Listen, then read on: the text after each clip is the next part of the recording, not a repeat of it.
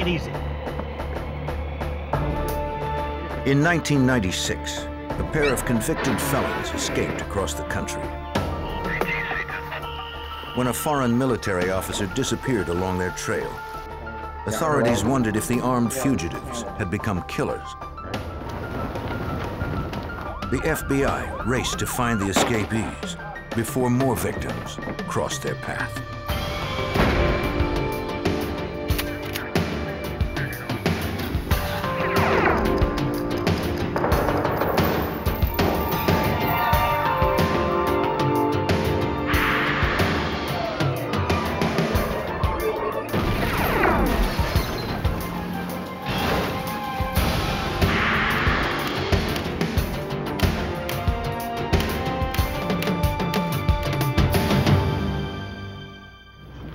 In Alabama, two desperate criminals fled the custody of a local deputy. Eluding authorities, they made their way across the country in a wave of car theft, abduction, and murder. I'm Jim Kallstrom, former head of the FBI's New York office. Escaped criminals believe they have nothing to lose. They'll do anything to avoid capture. After the convicts claimed their first victim, further bloodshed was inevitable, unless the FBI could find them and bring them to justice.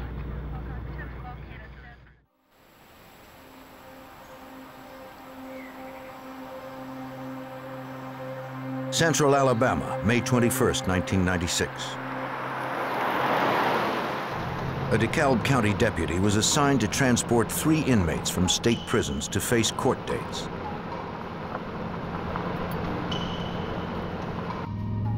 Michael Thompson was to be sentenced for murder.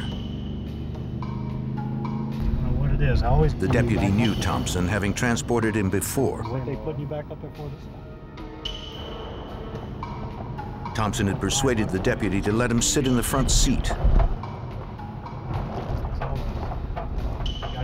Thompson had just met another inmate, Roger Yaden.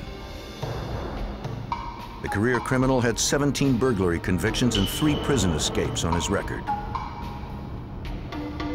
The third inmate was on work release. The prisoners were not handcuffed for the short drive. As the group neared Talladega, Alabama, Thompson made his move.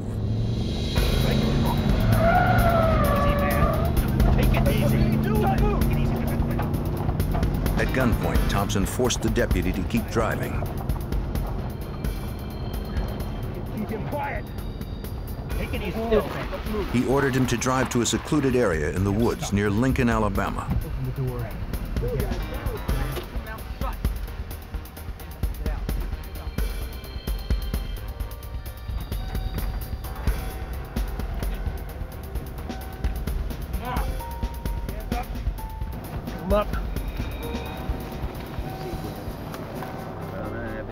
Thompson and Yaden freed themselves.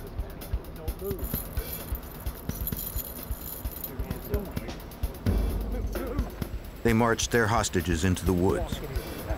Keep walking feet cool with it, man.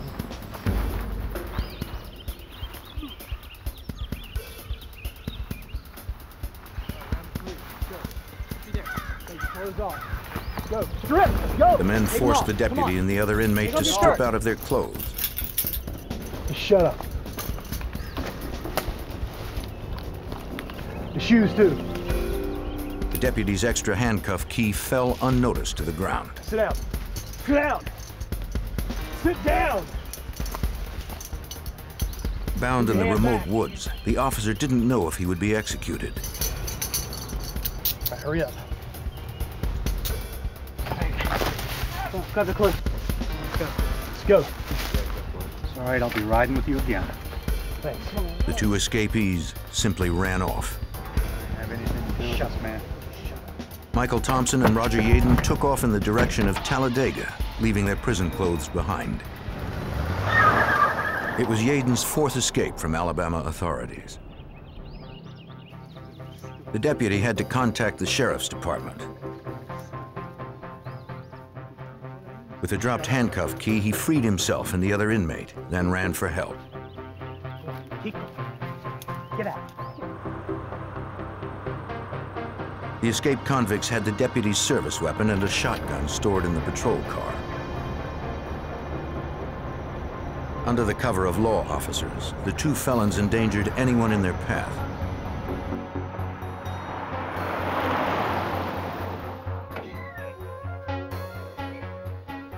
deputy and the remaining inmate had flagged down a motorist and reached the local police department. Problem is, push my head against the window. Police immediately issued an urgent be on the lookout alert for the two escapees in the stolen patrol car. One individual, Thompson, six foot. DeKalb County law enforcement launched a search. But the area contained hundreds of miles of rural roads. Despite the search, no sightings of the fugitives or the deputy's car came in that day. Okay, let's start with the description of the, uh, the man who had the It wasn't until the evening that authorities received their first clue to Thompson's and Yaden's actions. There, and I didn't see the shirt underneath that. A local paramedic contacted Talladega City Police and told them about his ordeal. He said that earlier that day, he was driving near Talladega when he noticed a sheriff's patrol car following him. When he heard the siren, the off-duty paramedic pulled over. He believed it was a routine stop.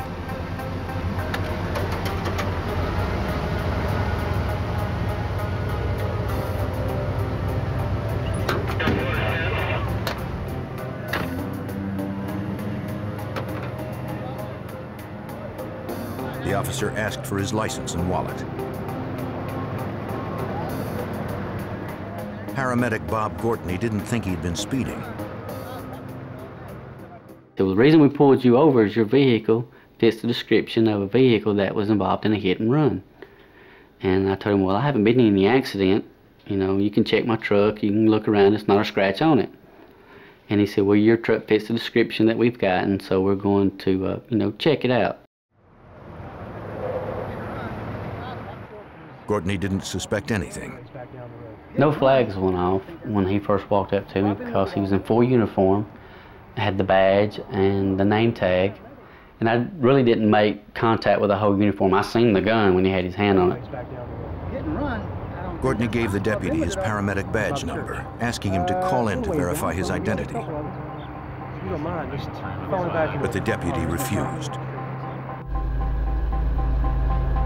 Following the deputy's orders, the paramedic got into the patrol car. He believed it was simply a misunderstanding and that he would be released shortly. He said, well, we're going to carry you back over here to the accident scene. And I said, well, that's fine. You know, my truck doesn't fit the description. We'll just get this cleared up. He first realized something was wrong when a man in civilian clothes carrying a shotgun ran from the patrol car to his truck. Okay, let's start with the man approaching. From the description, police believe the man driving the pickup was Roger Yaden. say probably about 130. They believe Michael Thompson was the one dressed as the deputy. We're about to sit back. Thompson followed the pickup with the paramedic locked in the back. What the deal is, you can have the truck. Gortney asked for an explanation. wife, kids.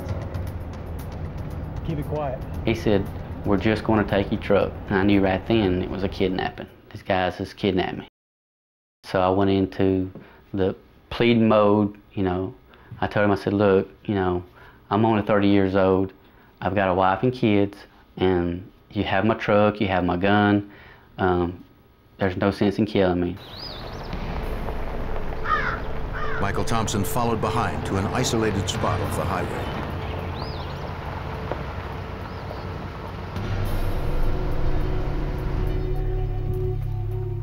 Roger Yaden had found the paramedic's 9mm handgun in the truck.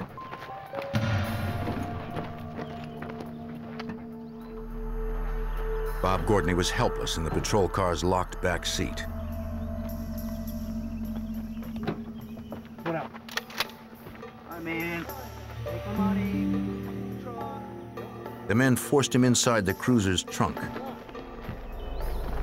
The kidnapped paramedic believed they were going to kill him. I was laying there at the point, so if they shot through the trunk, I knew they would miss me. You know, if a bullet was to come through, maybe it would graze me and not hit any vital organs. So I was trying to protect myself from the point of being shot through the trunk. And I could hear vehicles pass by, and then I heard my truck crank, and then I heard it sped off, and it was hot. I felt like I was suffocating. I kept thinking to myself, you need to slow down, because if you don't, you're going to use up all your energy, and plus it's hot in here, I'm going to dehydrate, and I'm probably going to pass out. I was scared. I was shaking, and I was laying in the trunk, and I got to thinking, okay, you're a paramedic. You've extricated people a thousand times. Now it's time for you to do what you've learned to get yourself out of this trunk, to extricate yourself so you can still be alive. Using a jack he found in the trunk, Gortney worked for two hours.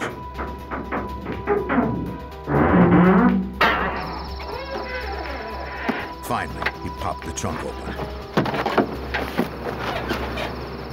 He ran to the nearest house where a woman called police.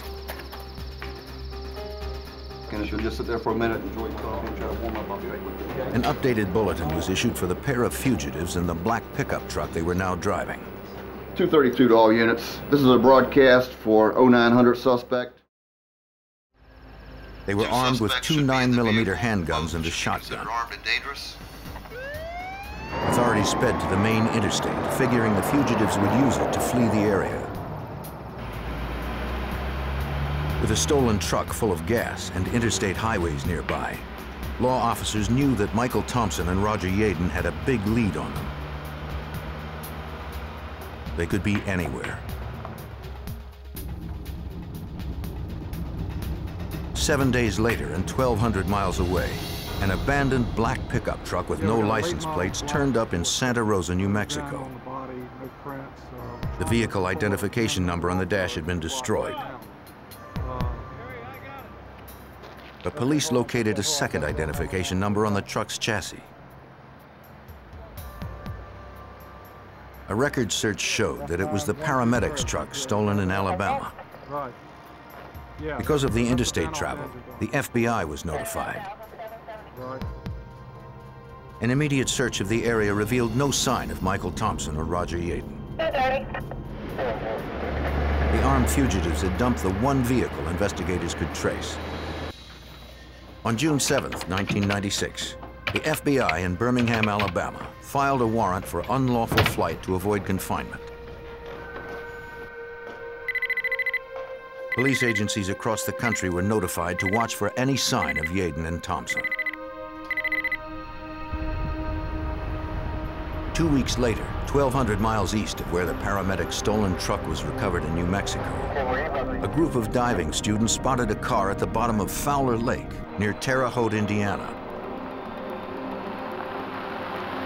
Indiana Department of Natural Resources agent Dean Jenkins responded with his team.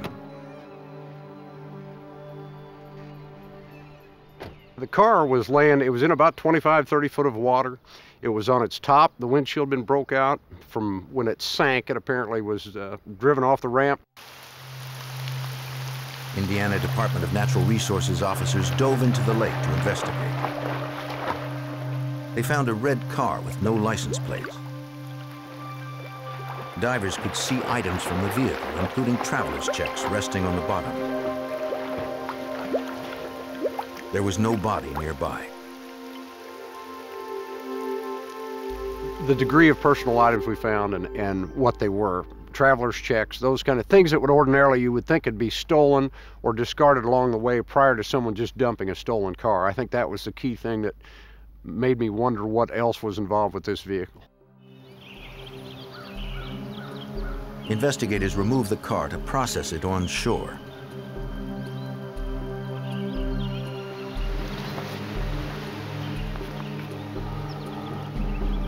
In the trunk, technicians recovered a British passport for Army Major David Nichols. Traveler's checks and airline ticket stubs issued to the Major were found in the glove compartment. Among the items was an Alabama jail booking slip with a local Indiana name and address written on the back. Checking the car's identification number, investigators discovered it was a rental from Colorado, reported missing along with the Major 16 days after he had rented it. The VIN number is 726JJ6. Because a foreign military officer was the likely victim of a crime, Supervisory Special Agent Jack Osborne from the FBI field office in Indianapolis was called in. He believed the name on the Alabama jail booking slip was the best lead in Major Nichols' disappearance. From the booking slip that was found in the car, on the back side was several handwritten notes, uh, not so much with phone numbers, but maybe somebody's first name and an address. Uh, one of those names and address led us to a relative uh, of Mr. Yaden who resided in Terre Haute. The relative was an aunt of Roger Yaden's. He was one of two escaped convicts whom investigators had searched for in New Mexico. She told an agent that she did not know why her name was on the back of the Alabama jail booking slip. She also had no knowledge of Major Nichols, his red rental car, or that her nephew had escaped custody. She told us that she did have a nephew, Roger Dale Yaden, who she believed was in custody in Alabama and had communicated a lot with him in writing as her uh, children had. She did say that Yaden had some old friends in the area, but she couldn't recall their names.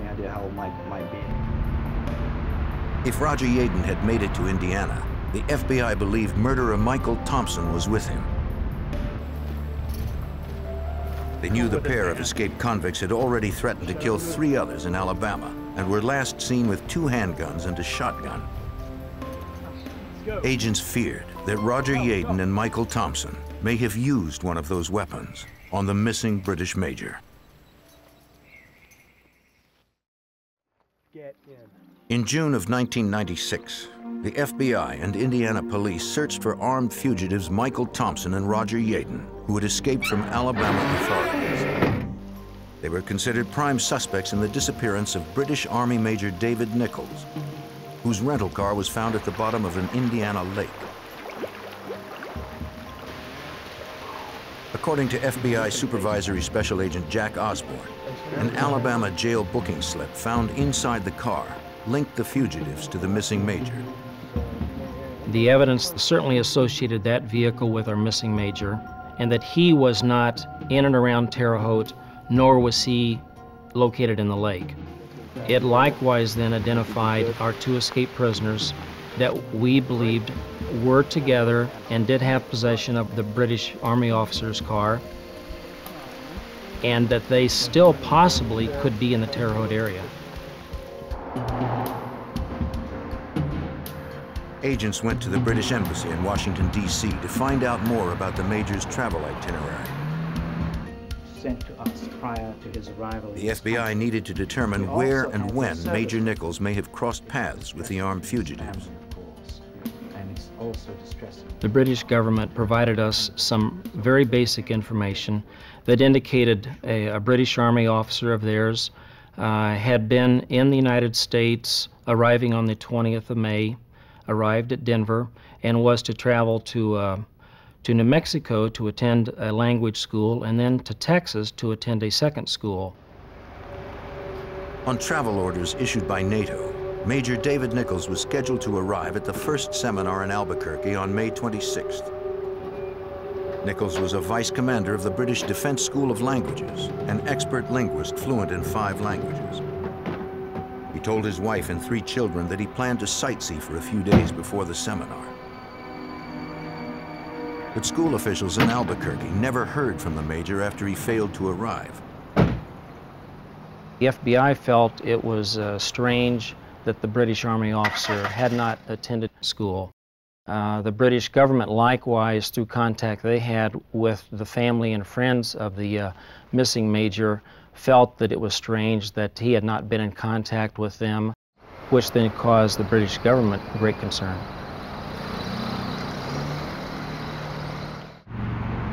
Agent Osborne contacted the FBI field office in Albuquerque, New Mexico. Special Agent John Shum needed to determine where the Major was last seen in the 450 miles between Denver and Albuquerque. They gave us uh, his itinerary, photos, descriptions, um, uh, potential contacts here in the U.S. that he might have contacted once he, uh, once we couldn't find him where he was supposed to be. So uh, they gave us a complete, what we would call a victimology of him, uh, his background, uh, personality. Agents also checked the British Major's credit card purchases. Hey, how you doing? The last time he used his card was to buy gas in the small town of Raton on the Colorado-New Mexico border. Can I take a look at it, please? The gas station was just 150 miles from the place Michael Thompson and Roger Yaden, the escaped fugitives from Alabama, had abandoned the black pickup truck they had stolen.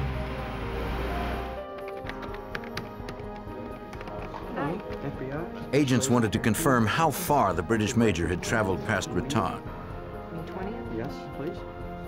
They checked at a hotel in Old Town Albuquerque where the Major had made advance reservations.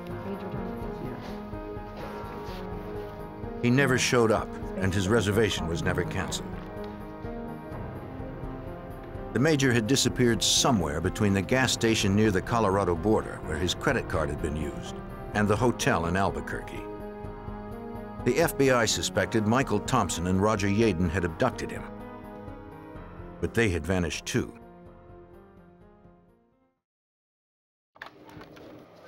Agent Shum called the Major's wife in England to find out more about how her husband may have reacted if accosted by two desperate criminals. She told me he was a very gentle man. He was a very good man, and that if he was confronted with these by these people, that he would not have been confrontational. He would have been willing to do what they say, give them anything they want, just to avoid a confrontation. Uh, and she said that uh, he would have been very concerned about uh, about his safety and being able to make it back to England to uh, help raise his his boys. 1,200 miles away in Indiana, close to the lake where the Major's car was found. Local police received a call from a junkyard manager who reported seeing two suspicious men on his property. When the officer arrived, the two men fled from a pickup truck loaded with scrap metal. It was unsafe for a lone officer to follow two men into the woods. He called in the truck's license plate numbers and learned the vehicle had been stolen.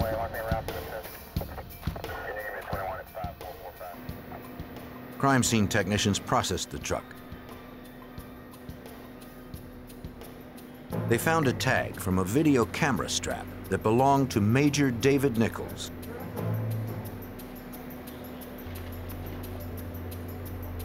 They also recovered a letter that was addressed to fugitive Roger Yaden's mother in Alabama. And it was generally saying that, that he was out of prison and was generally going to be staying in the Terre Haute area.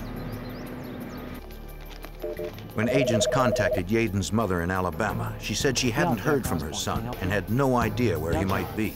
No, things things are going fine. Investigators were sure the fugitives were nearby. We got both uh, your photographs. The items that were recovered in that truck were extremely important because it not only associated Yaden and Thompson with that vehicle, it also uh, associated the missing major with that vehicle. It was more compelling evidence that Yaden and Thompson were likely responsible for the major's disappearance. But the armed fugitives were moving fast, and the FBI was still one step behind. In the summer of 1996, the FBI continued their hunt for escaped Alabama convicts Michael Thompson and Roger Yaden. Agents suspected they had carjacked a British man who was still missing, then dumped his rental car in a lake near Terre Haute, Indiana, where Roger Yaden had relatives. At a nearby high school, the FBI and Indiana investigators had established a satellite command post. They received a court order to examine Yaden's local juvenile record. Because we might very well need support. They noticed that Yaden often got into trouble with one particular friend. Checking the friend's background, they learned that he managed a nearby auto salvage yard. Indianapolis FBI Special Agent William Hamilton would chase the lead. My partner and I decided that we would drive a unmarked vehicle into this area in an undercover capacity uh, under the ruse of looking for a specific auto part. The five acre property was a good hiding place. It was filled with a maze of cars surrounded by dense woods. Agents staked out the location. I, I just haven't seen anything in a while. They needed to confirm that Yaden's childhood friend was on duty.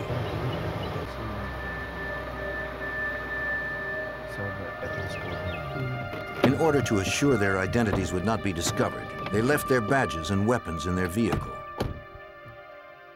After going all the way to the far south end of the salvage yard, we noticed a trailer back in the woods, and uh, there was two white males there working. The men fit the general description of the armed fugitives, but the unarmed agents could not be sure. Hello. They hoped to learn more from the manager. You get a lot of stuff in. The undercover agents engaged him in small talk and confirmed that he was a friend of Roger Yaden's. The uh, childhood friend, uh, he indicated that he'd known Yaden for several years. They had both came to his residence in early June, and they showed up there in a red Taurus. That car matched the description of the missing Major's vehicle. By the time the agents finished their conversation, the two men they had glimpsed earlier were gone. The FBI believed those two men had been Thompson and Yaden. After assembling an arrest team, agents and local officers raced back to the salvage yard. On the way, they noticed a pickup speeding in the opposite direction. One agent spotted Roger Yaden inside, traveling with the salvage yard manager. They couldn't see if Michael Thompson was also with them. Investigators gave chase. They trailed the truck to a dead end. Yaden jumped out and headed for the woods.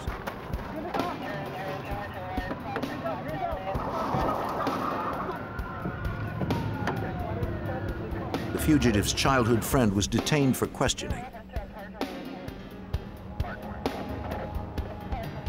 He said Yaden had forced him to lead police on a chase until he could jump out of the truck. Assured he had not intentionally harbored the suspects, police later released the friend.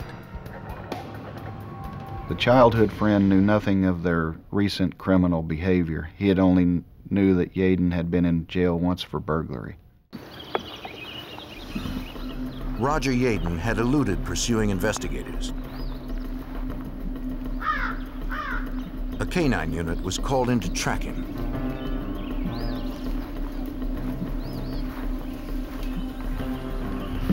The highly trained dog picked up a scent. Mike. Mike. Mike.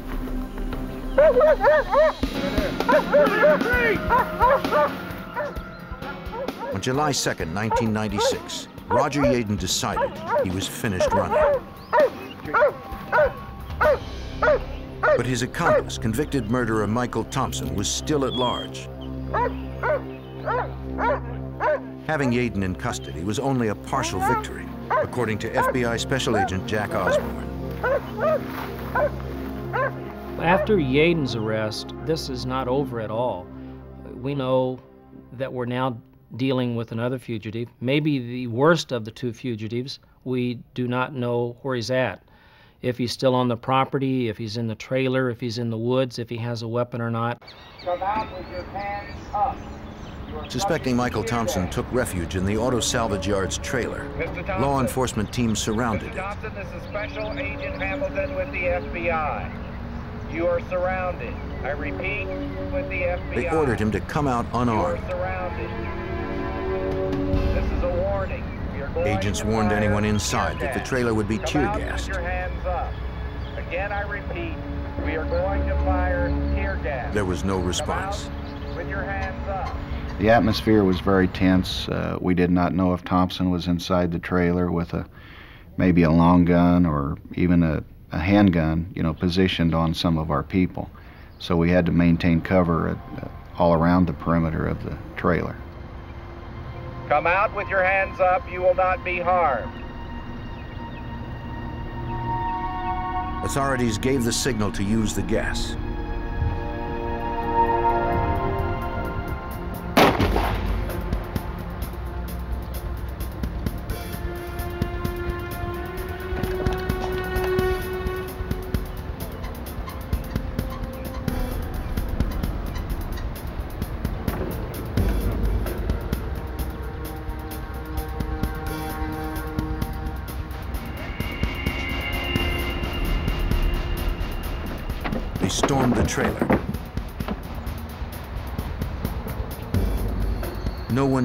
If escaped murderer Michael Thompson was armed and barricaded inside.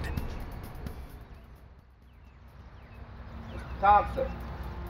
I repeat, Thompson, need to come out. On July your 2nd, 1996, after capturing Alabama fugitive Roger Yaden in Indiana, FBI agents stormed a salvage yard trailer where they believed his partner was hiding.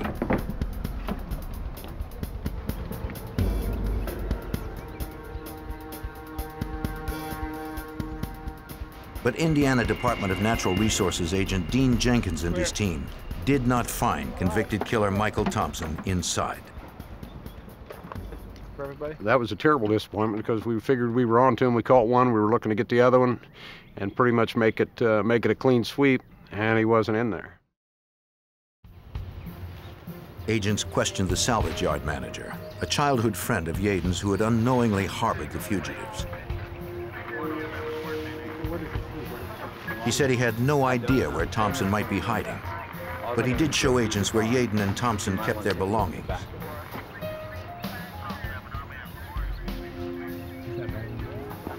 From the trunk of a car, agents retrieved a suitcase labeled with the name of missing British Major David Nichols. The Major's clothes and personal effects were still inside. Agents believed the fugitives had carjacked the Major in New Mexico.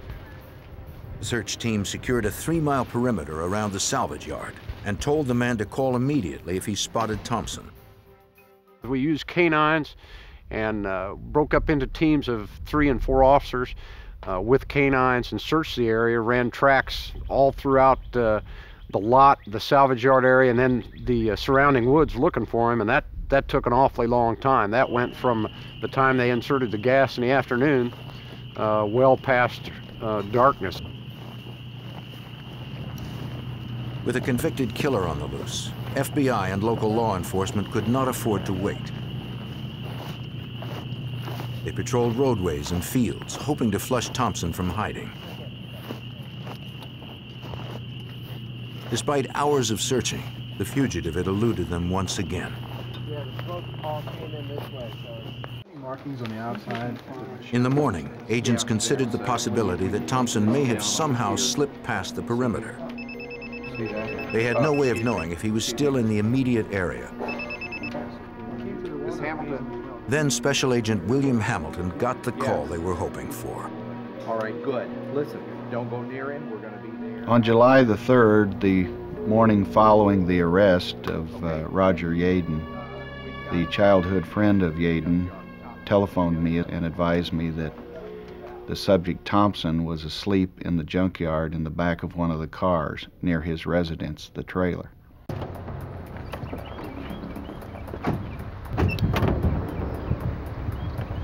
The team was concerned that Thompson would be armed.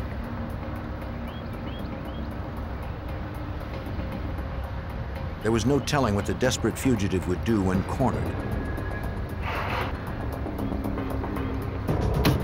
Exhausted from running, the killer gave up without a fight.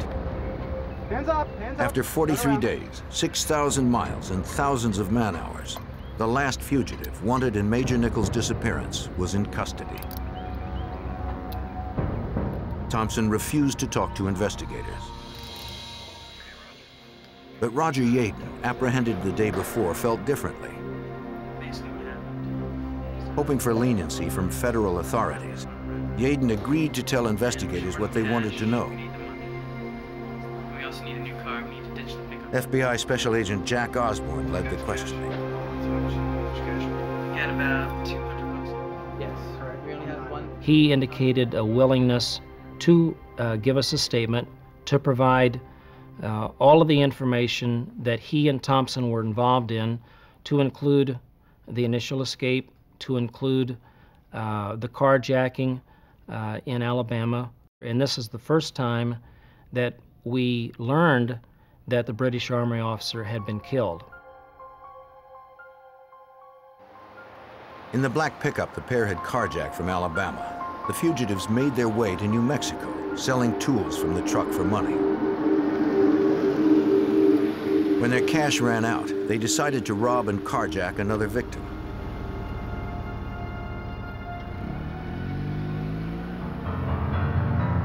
They staked out a remote rest area 100 miles south of Raton, New Mexico, the last known town where British Major Nichols had traveled. The convicts figured that tourists would be traveling with a lot of money and waited for someone who was traveling alone.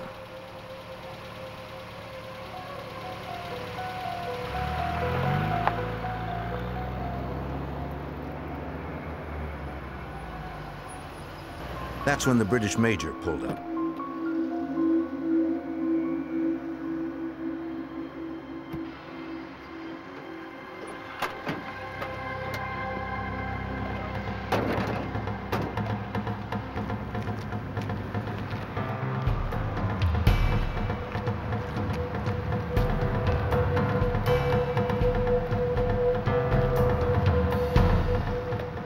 They had done in Alabama, they forced their victim into the trunk of the car.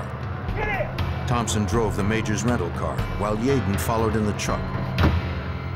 From Yaden's account, the British major reacted to the crime as the major's wife had predicted he would, according to Special Agent John Shum. Everything she said about him is exactly what Yaden told us happened. That uh, Major Nichols was non-confrontational. He did what he could to um, keep the situation from escalating. He talked about uh, his three boys in England, about how he needed to to get back there for them, and he he asked that he not be hurt because he was concerned about uh, what would happen to his children. Nothing to do with it. I was in the pickup truck. I was in the back. Yaden said Thompson had planned the whole thing and that he was calling the shots. They drove 50 miles until it was dark, then pulled into a deserted area off the highway.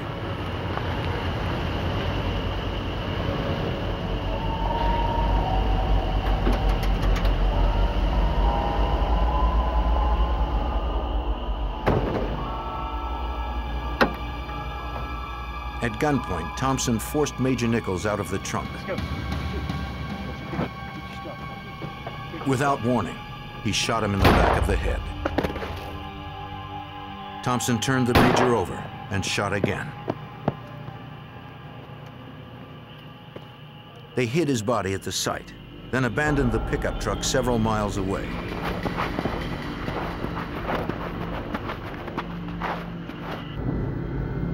Yaden said Thompson never explained why he had killed this carjacking victim. You didn't have to kill him. The pair of fugitives drove Major Nichols' car to Indiana, where they dumped it in Fowler Lake.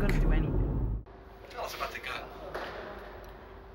Roger Yaden had confessed his crimes to the FBI, but he wanted a deal before he gave up the location of Major Nichols' body. He wanted to hold back until he could get some assurance from the government that we would not seek the death penalty against him.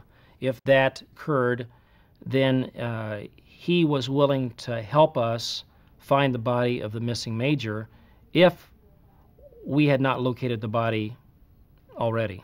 All right, so let's talk about this deal. What are you, what are you looking for here? Agents met with Yaden and his lawyer. The prisoner said he would tell them where the body was if they also promised he would not serve time in an Alabama state prison.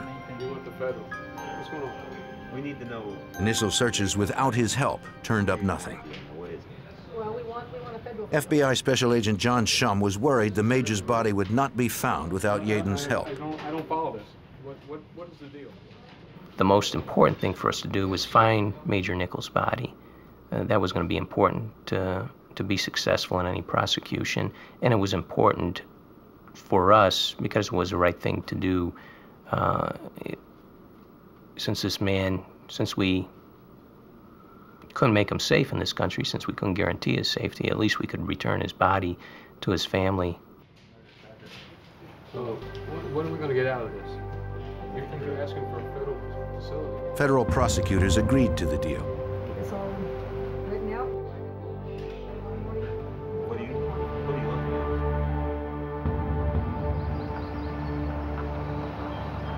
Yaden led investigators to a secluded spot in the New Mexico wilderness.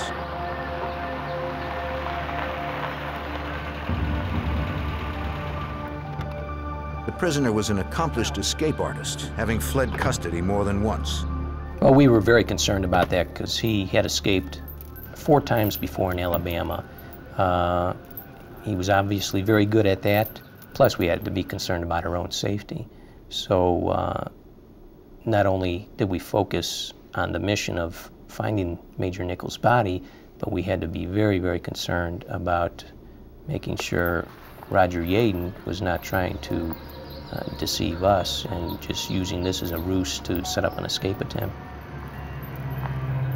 FBI field agents were wary as a SWAT team secured the location. They had no way of knowing if Yaden might have friends in the area waiting to strike at agents. On September 24, 1996, recaptured prisoner Roger Yaden led the FBI into the New Mexico desert, where he claimed the body of Major David Nichols remained hidden after being murdered. Yaden would be spared the death penalty if he could locate the remains. FBI Special Agent John Shum recalls that the likelihood of finding the body without Yaden's help was slim. It was a, very desolate area. It was off of a very little used two-lane highway in New Mexico in a very remote area. And then off this two-lane highway, we had to go down a gravel road for approximately a mile. And then off the gravel road, we had to drive into a cattle pasture for several hundred yards. So it was incredibly remote. Agents were concerned that Yaden had taken them there as a ruse to effect another escape. Finally, Yaden pointed out a spot to the agents. There it is.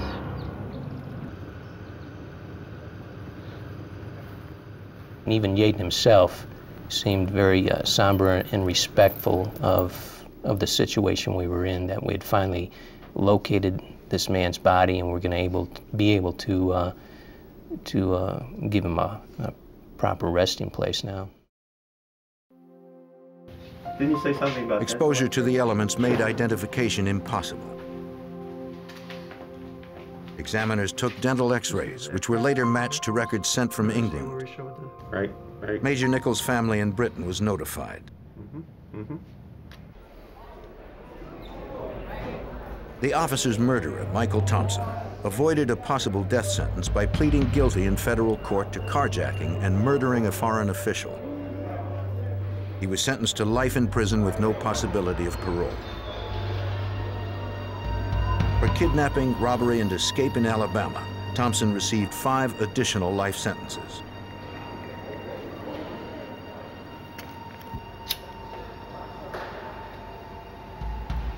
In exchange for his cooperation, Roger Yaden was allowed to plead guilty to only one count of carjacking and was sentenced to 18 years.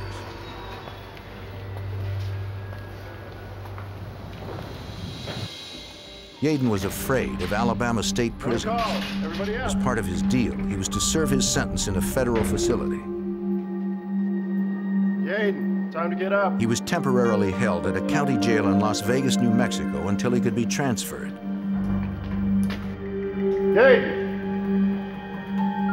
Let's go!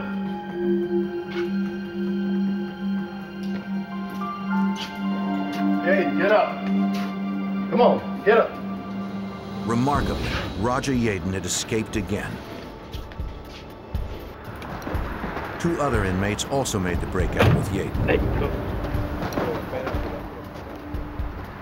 A search party with a dog team tracked Yaden's scent from jail. The trail ended at an interstate highway.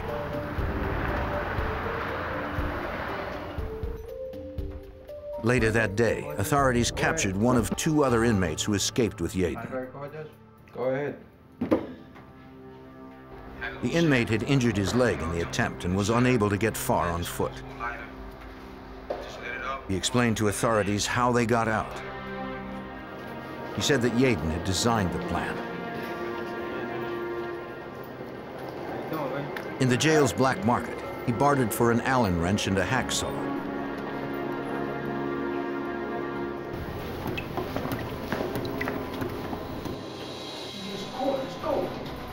Yaden unlocked maintenance panels to gain access to air ducts that led to the roof. He cut through ductwork, then the roof to get outside.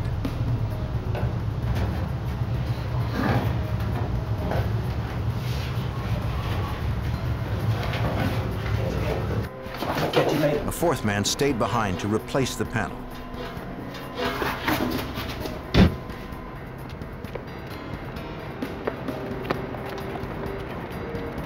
The escapees moved along the roof of the jail, then jumped over the wall.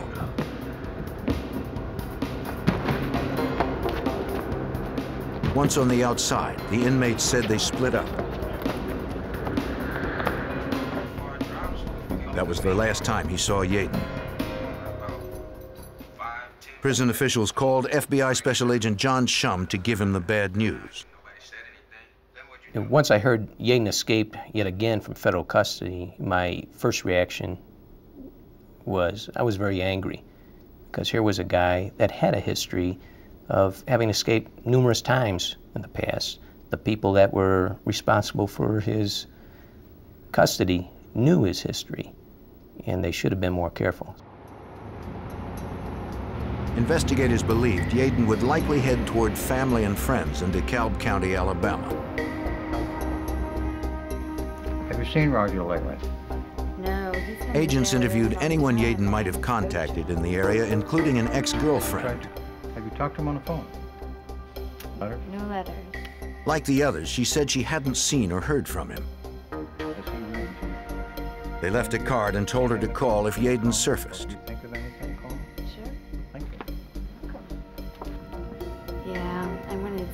After the agents left, she admitted to her current boyfriend that she had let Yaden hide in her house. It was an accident. He was upstairs in the attic. Guy, I guess he's your guy, but he's gotten himself into a lot of trouble. The boyfriend was upset and called police. Nearby officers responded.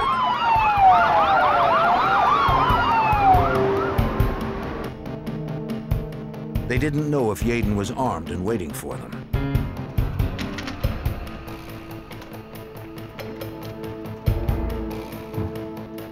Five weeks after his escape from New Mexico, officers finally cornered Roger Yaden. Captured in DeKalb County, Alabama, Roger Yaden's crime spree ended where it began. His escape nullified the deal with federal prosecutors. Go ahead, check this area. He was charged with the crimes he had committed during his last escape from Alabama. Alabama Assistant Attorney General David Estes prosecuted Yaden in Talladega. The jury in this case deliberated for a very short period of time, at the, an hour at the most, and they came back and they convicted Roger Dale Yaden of three counts of kidnapping in the first degree, two counts of robbery in the first degree, and one count of escape in the first degree. Yaden received five concurrent life sentences without parole. Now in maximum lockdown, Roger Yaden will never leave Alabama prison alive.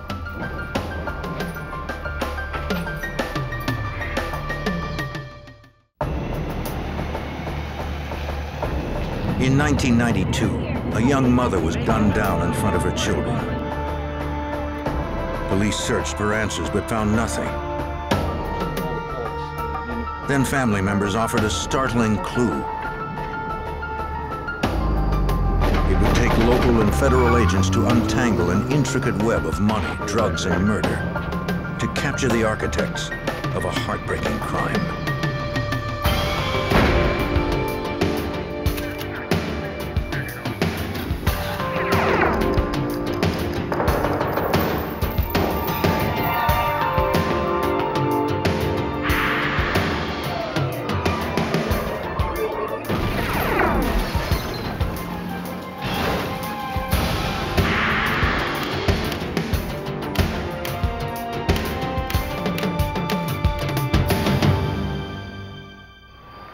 Two young boys were the only witnesses to their mother's murder. The horrible crime appeared unmotivated, senseless, and random. I'm Jim Kallstrom, former head of the FBI's New York office. The victim, the wife of a prominent Atlanta attorney, was also a woman burdened with a secret. The FBI believed that secret led to her death. They hoped its discovery would also lead to her killer.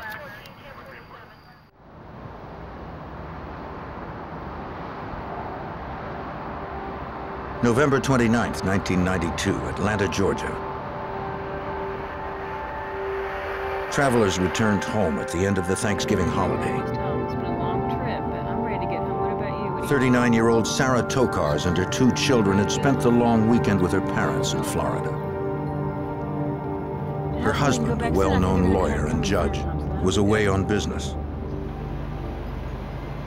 After a nine-hour drive, they arrived safely in their suburban Atlanta neighborhood of Marietta.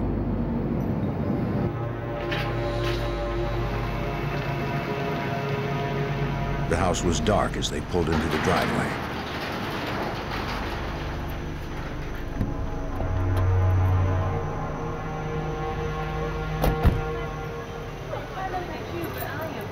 But it was not empty.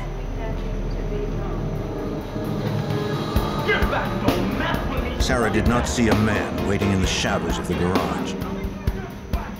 He brandished a weapon. The gunman forced Sarah back into the SUV.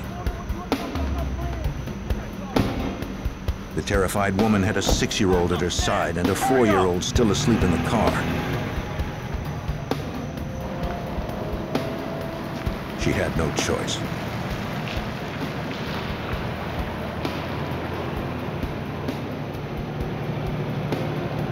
The man put his gun to Sarah's head and told her to drive towards the city. She followed instructions.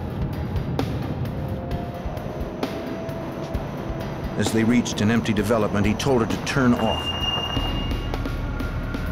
She refused. She pleaded with him to let her children go.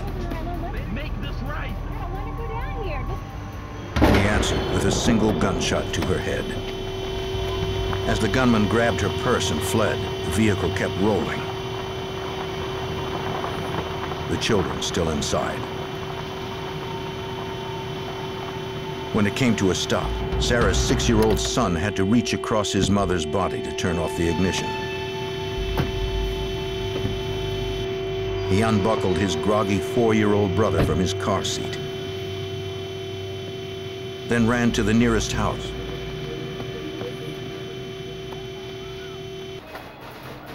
There, a neighbor called 911.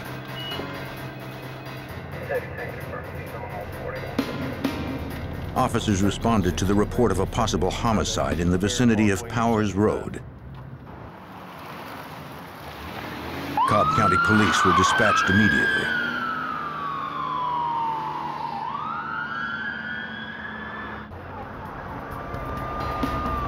Homicide detectives arrived as officers fanned out to search for the gunman.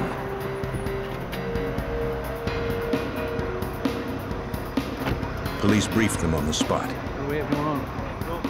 The two young boys who witnessed the shooting identified the victim as their mother, Sarah Tokars. Their father, Fred Tokars, was out of town. Police were already trying to contact him. Forensic technicians examined the vehicle where it had stopped.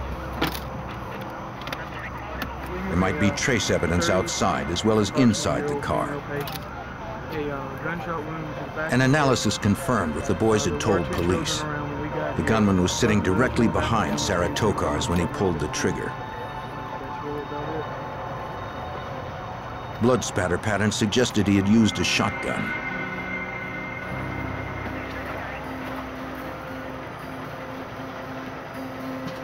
Detectives knew it would be difficult to get detailed information from children so young, especially after such a traumatic experience. The oldest one, six years old, would try his best.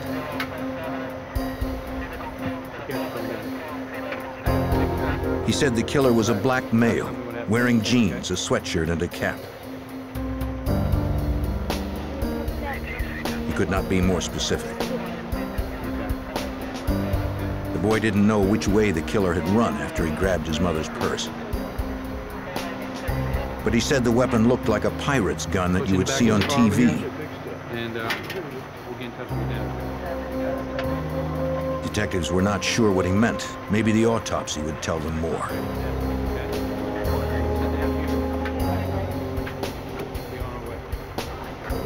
Detectives tracked down relatives living in the area to take custody of the boys until their father could be located.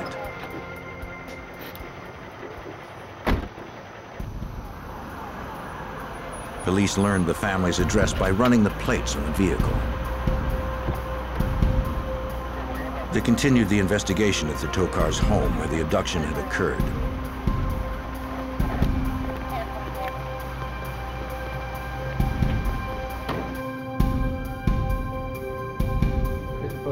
In the living room, they found a security dowel lying next to a sliding glass door. The killer had likely entered the house here. The home security system had not been activated. Right here, let's get some photographs. No alarm sounded as the intruder entered. And then after that, I want you to go ahead and process it. Perhaps a burglar had taken advantage of the lax security, and Sarah surprised him when she returned home.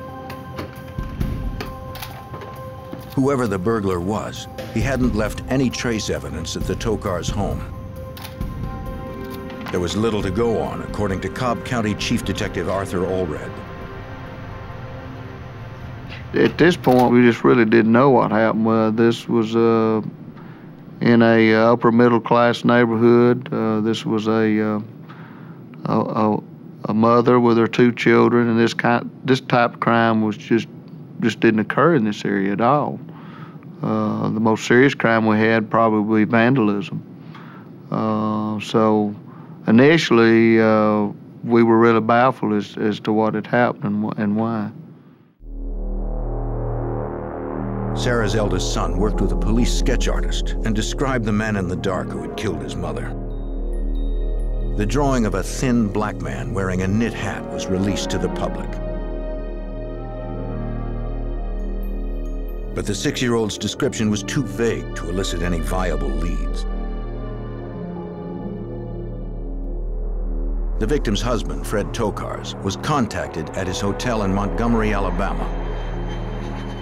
He returned to Atlanta immediately. As a criminal defense attorney, Tokars was aware he would be considered an early suspect in his wife's murder. He had his own attorney present when he spoke to authorities. They quickly established his alibi so police could pursue more promising leads. Detectives confirmed that at the time of the murder, Fred Tokars was in Alabama. He had been visiting a client incarcerated in the Montgomery jail.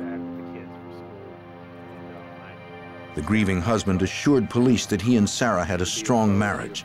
I don't answer any questions. I just want to basically, you know, see the kids. He would do anything he could to help find her killer. Due to the nature of what's going on, you know we have a job to do. All right, guys. Um, Tokars agreed to walk detectives through the house. anything's been messed up here. Yeah, you're alone. As far as he knew, the doors were locked and the security rod was in place when he left for Montgomery. He explained that they had intentionally left the alarm off because a plumber was scheduled to fix the hot water heater over the weekend.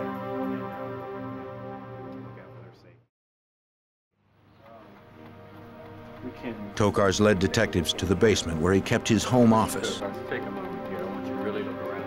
He said he usually had about $1,500 locked in the safe. Now it was open and empty. I do keep some cash in there. Its combination was hidden in a nearby file. Only he and his wife knew it was there. Perhaps Sarah had taken the money on her trip to Florida. It was also possible that the burglar had found the combination and taken the cash. Ultimately, Tokars couldn't specify how much money, if any, was missing. To police, nothing else in the house seemed disturbed, and no clues pointed to the killer's identity. A lot of people were frightened. Uh, a lot of people were just couldn't believe that this would happen to a mother in front of her children, and especially in the neighborhood where it occurred. So there was a lot of uh, uh, uh, a lot of pressure on the department to, to, to find who had killed her. Police hoped the coroner's report would give them more. Lab examiners confirmed that Sarah Tokars had been killed with a 410 shotgun. To a child, if that type of weapon had been sawed off, it might look like a 17th century flintlock pistol used by pirates on TV. Only the plastic wadding and buckshot were recovered from the SUV. It might be a 410 or maybe a 20 gauge. Because no shell casing had been ejected, they would not be able to match anything to a specific weapon if one were later found. Maybe 410. I'll get to the ballistics for you. The examiner discovered no foreign hairs, fibers, or fingerprints on the body or clothing. The anonymous killer had left nothing that could lead investigators to his identity. Former Assistant United States Attorney Buddy Parker, like many members of the Atlanta community, was stunned by the news of the murder.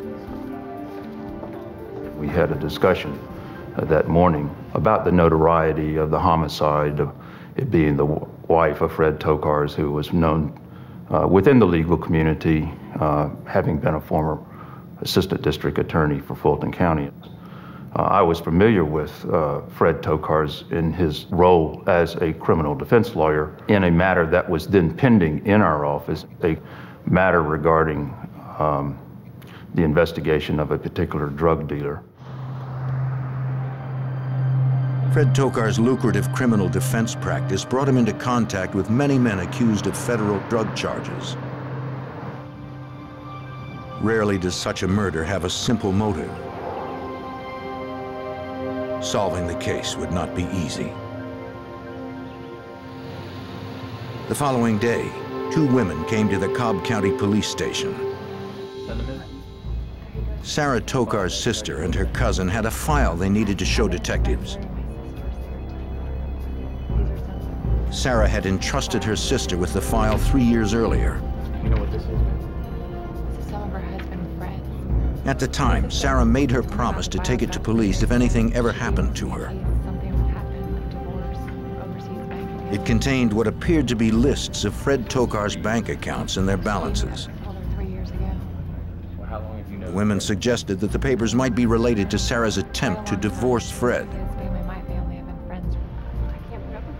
Her sister's marriage was not as strong as Fred had led police to believe. That might be so, but Sarah wanted a divorce, but whenever she broached the subject, he threatened to use his legal connections to get sole custody of their children. All right, guys. Let me tell you something. Sarah was trapped. Divorce, but you'll never see the If she ever hoped to divorce Fred and keep her children, she needed leverage. Well, in case there was a divorce. After the incident, Sarah had secretly copied some of Fred's files and gave them to her sister for safekeeping. She suspected they outlined illegal activities he might be involved in. If that were so, they could be her only leverage against him in court. Investigators reviewed the files carefully. Perhaps they would help police determine whether Sarah Tokar's death was a botched robbery or a carefully planned conspiracy. Cobb County detectives called the FBI office in Atlanta for help. They hoped that Special Agent Michael Twible could determine if Fred Tokar's bank statements were somehow linked to the murder. We were contacted by the Cobb County authorities uh, concerning the documents they had discovered, which were brought to them by uh, Sarah Tokar's sister and cousin, which revealed that Mr. Tokar's, her husband, had been involved in setting up offshore bank accounts and offshore corporations. It would take time for Agent Twible and his team to unravel the names and finances on those documents to see if they had something or nothing to do with the death of Sarah Tokars. On December 3, 1997, four days after the shooting, Sarah Tokars was laid to rest. Her two children were left motherless. Investigators still had no leads that pointed to the identity of her killer. Whoever had killed the young mother was still out on the streets.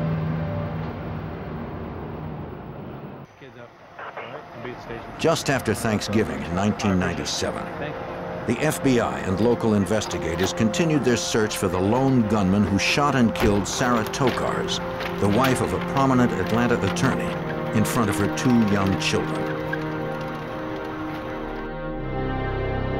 Sarah's six-year-old child had given a vague description of the suspect to police in Cobb County, Georgia, but they still had no solid leads. Copies of her husband's bank statements were sent to the FBI field office in Atlanta for closer scrutiny. Special Agent Michael Twible hoped to provide insight as to whether the documents might somehow be connected to Sarah Tokar's murder.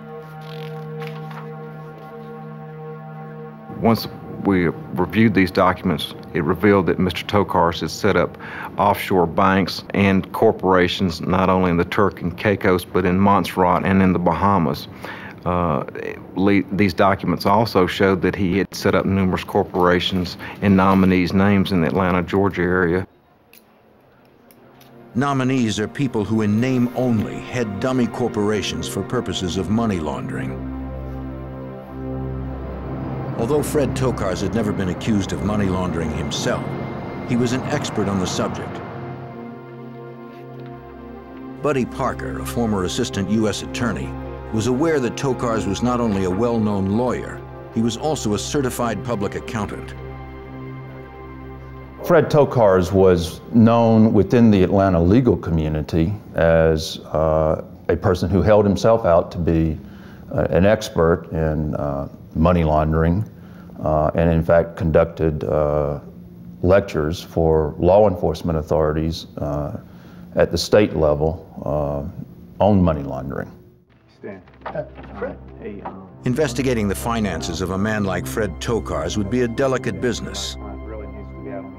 He was well liked and well connected among Atlanta's power elite. He was well known in Cobb County. He was also well known in uh, political circles, in as much as he had been appointed as an assistant municipal court judge and he had been an assistant uh, solicitor for Fulton County. He had uh, uh a, a, lot of friends in high political places and helped on numerous campaigns uh, of, of, state and local uh, officials. I'm wondering if you have any Investigators again met with Tokars and his attorney. They told him they believed his business dealings could be connected to his wife's killing and asked him about his clients. Has your wife mentioned anything to you about anyone that she... Fred Tokars admitted several were violent drug dealers who operated in dangerous circles. One in particular was reputed to have been a major cocaine supplier in the Atlanta area.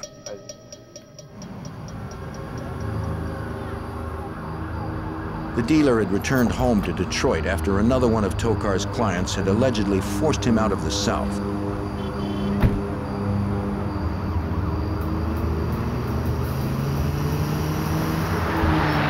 Not long after, he was gunned down in front of his mother's home. The murder weapon, a handgun found later in a nearby alley, had been traced back to a gun shop north of Atlanta. Tokars suggested that the dealer's remaining crew, or even those who murdered him, could have had Sarah killed to send a message to the lawyer. We can arrange something and get it over to you. Detectives secured a warrant to search the attorney's office to see if they could find any link to the killer in his papers.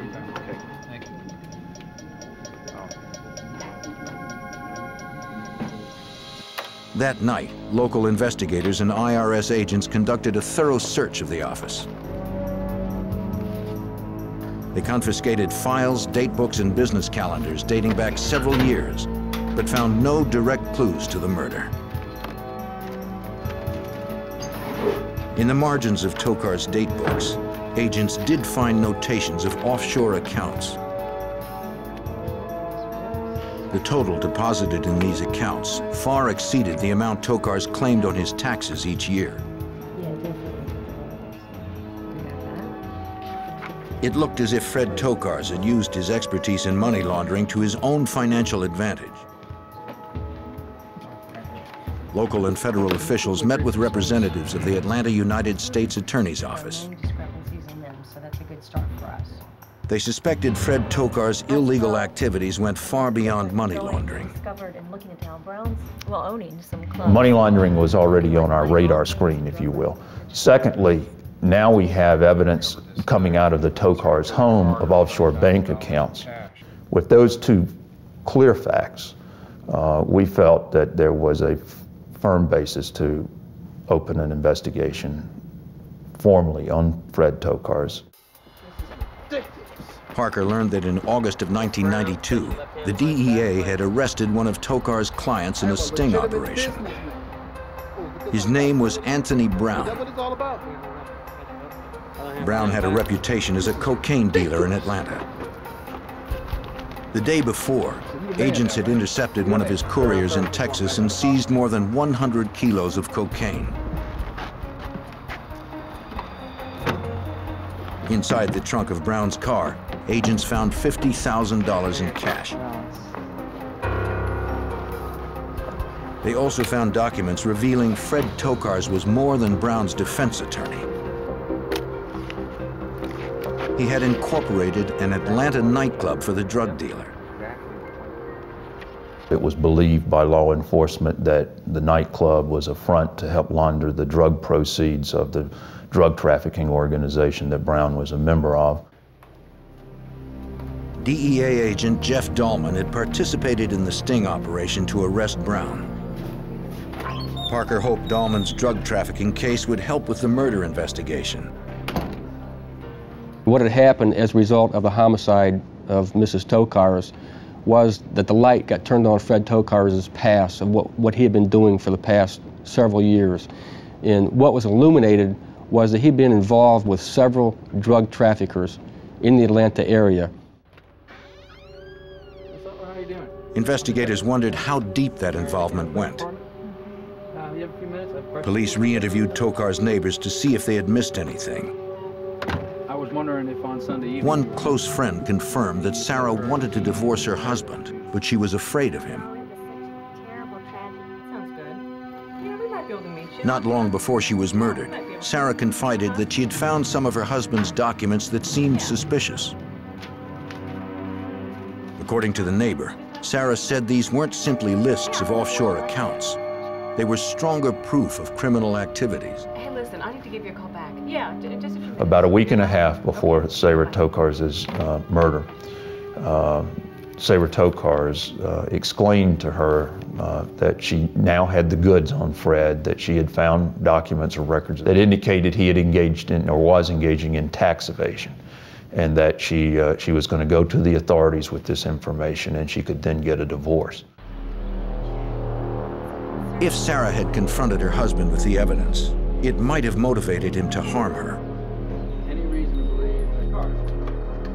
Investigators additionally found the name of a Tokar's private investigator. The PI admitted to agents that Tokars had hired him to approach drug dealers about laundering their profits. He was listed as one of the owners, along with Fred Tokars, of another Atlanta nightclub, according to Special Agent Michael Twible.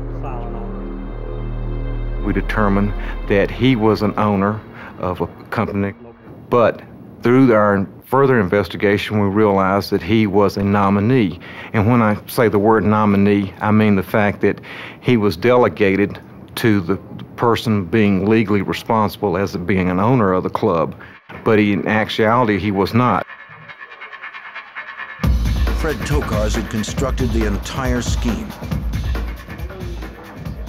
According to the private eye, Tokars courted reputed drug dealers like Anthony Brown, men who had a lot of cash, but no place to invest it without raising suspicions of the IRS. Tokars, a money laundering expert, proposed depositing their drug profits in offshore accounts and in businesses like clubs that operated primarily on a cash basis. The money could then be filtered through legitimate financial institutions. And the way you would launder the money is even though it's still in, in cash, you would pay entertainers on paper $15,000 when in actuality you paid them $5,000 cash. Tokars would receive thousands for each transaction.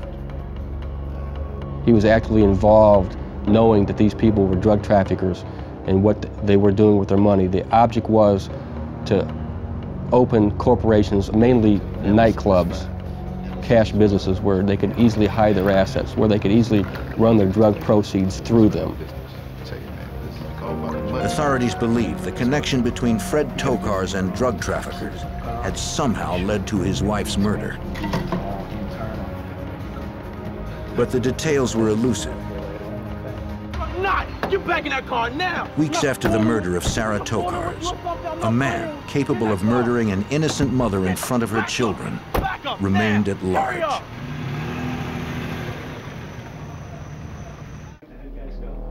got a shotgun blast to the back of the By December 1992, several weeks after Sarah Tokars was killed, federal and state authorities had still not found the lone gunman and still had no clues to his identity. So it's a lot of, lot of... Shortly before she was brutally murdered, Sarah believed she had discovered papers in her husband's law office that documented his illegal activities. Former U.S. prosecutor Buddy Parker believed that Sarah had likely threatened to expose Fred Tokars with those documents unless he agreed to a divorce. That began to give us a feeling that uh, Sarah Tokars was murdered to keep her mouth shut about her knowledge or her belief about her husband's role and involvement in laundering drug money for drug traffickers. Fred Tokars not only represented violent drug dealers, he had gone into business with them. Investigators now had evidence Tokars' clients were laundering money through several nightclubs. If his wife had threatened to expose him, Tokars, as well as his clients, had a lot to lose. The FBI took a hard look at the nightclubs the attorney had incorporated. Special Agent Michael Twible had to wade through piles of state records, searching for a name that could link Tokars directly to the murder. We started reviewing uh, company and corporation records and uh, liquor license and business license that uh, Mr. Tokars had incorporated. We started looking at these different clubs uh, to see actually who owned them. Major drug suppliers like Al Brown contributed the funds a middleman purchased the clubs. And Tokars set up the entire deal, as DEA agent Jeff Dahlman discovered. They didn't really trust Mr. Tokars to launder money in offshore bank accounts. It was too elaborate. They wanted their money where they could touch it, where they could feel it, where they could use it every day, where they could buy cars with it. And so the, the laundering, in essence, in this investigation turned towards the laundering of money through nightclubs, through incorporation of the nightclubs. FBI agents interviewed employees of the nightclubs. Over time, they were able to piece together the structure of the business, its owners, and its profits. To Attorney Parker, it was like assembling a complex puzzle. The picture of how uh, the nightclub money laundering was structured was really developed through insiders, through inside drug traffickers who ultimately decided to cut plea agreements with us and to cooperate and provide evidence. But nothing from the nightclubs pointed to Sarah Tokar's killer. After months of frustration, Cobb County Police finally got a break. A detective working on the case got a tip from his brother, a deputy in nearby Fulton County. The deputy remembered seeing Fred Tokar's name in the file for a businessman who had an outstanding arrest warrant. The businessman's name was Eddie Lawrence, wanted for writing bad checks on one of Tokar's accounts. Of all Tokar's business associates and clients, Eddie Lawrence was a name he had never mentioned to police. Authorities quickly learned that Eddie Lawrence and Fred Tokars were involved in several businesses together. These included construction, renovation, and mortgage companies. Tokars had also defended Lawrence in several minor brushes with the law. It was a long shot, but it was the only lead they had left. Eddie Lawrence had, through Fred Tokars, been granted access to some of the uh, some of the uh, most prominent individuals within the city. Uh, Fred would take Eddie to some of the big political fundraising functions, and, and all of a sudden Eddie was, like I said, he's very presentable. He, he could certainly uh, mingle and and and uh, not be embarrassed at cocktail functions and things, and, and engage in conversations and. And so uh, he, he was living this wonderful life, and the way he got there was through Fred Tokars. A few days later, the young businessman agreed to questioning after police discovered records of calls between he and Tokars on the day of the murder. Eddie Lawrence said he had been in business with Fred Tokars for almost a year. He claimed the phone calls were all job related. He knew nothing about Sarah Tokar's murder. The detectives had Lawrence arrested on the bad check charge and then released him on bond. They wanted to see which one of Tokar's associates got nervous when they heard Lawrence was being investigated. This is a shock to me when I heard about her death. The plan worked. The confidential informant contacted police.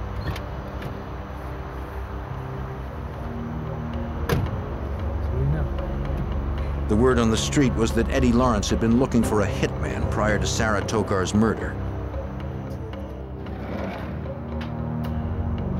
He had pressured one of his employees to help him find someone to kill a woman who he claimed stood in the way of a lot of money.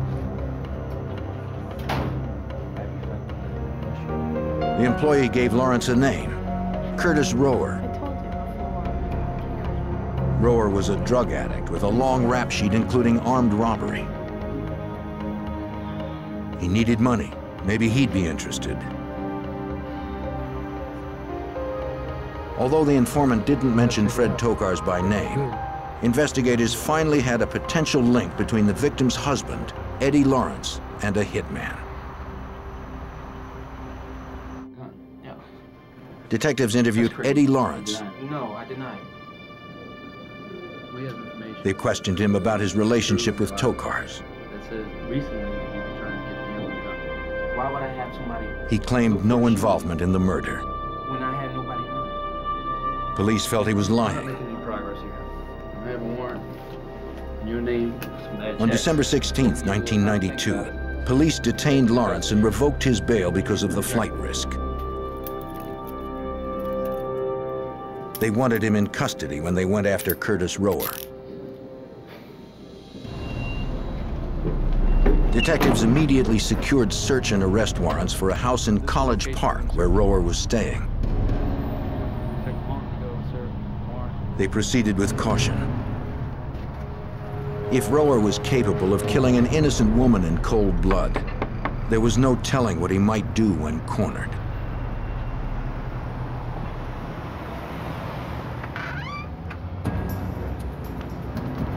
On December 22, 1992, three weeks after a mother of two was murdered, Cobb County Police circled a home in College Park to arrest suspected hitman Curtis Rower.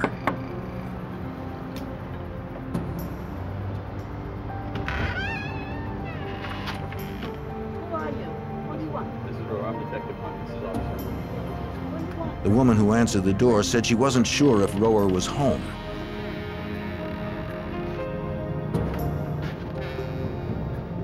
An initial sweep of the house produced nothing. Still, they kept up their guard. One officer thought he heard movement in a bedroom.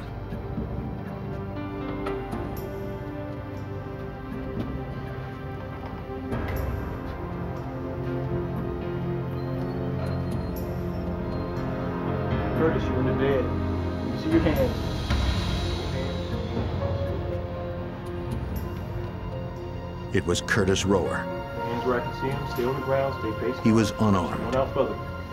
Lay down, all the way down. Spread your hands out. Keep them spread. Rower was booked and charged with murder.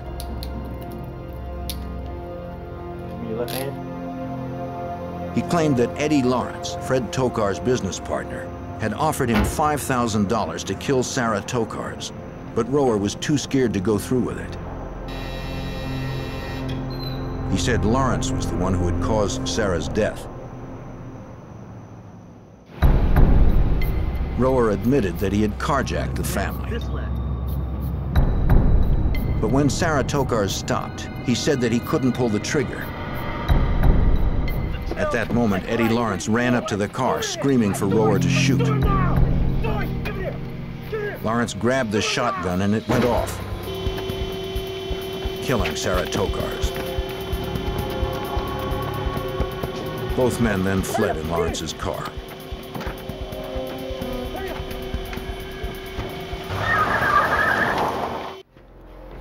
Though police believed Rower was downplaying his role, Sarah's six-year-old son was the only other witness they had to refute his claim.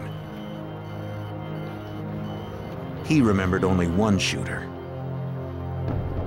The boy would be forced to identify the man who terrorized his family from a lineup unless Eddie Lawrence corroborated Rower's story.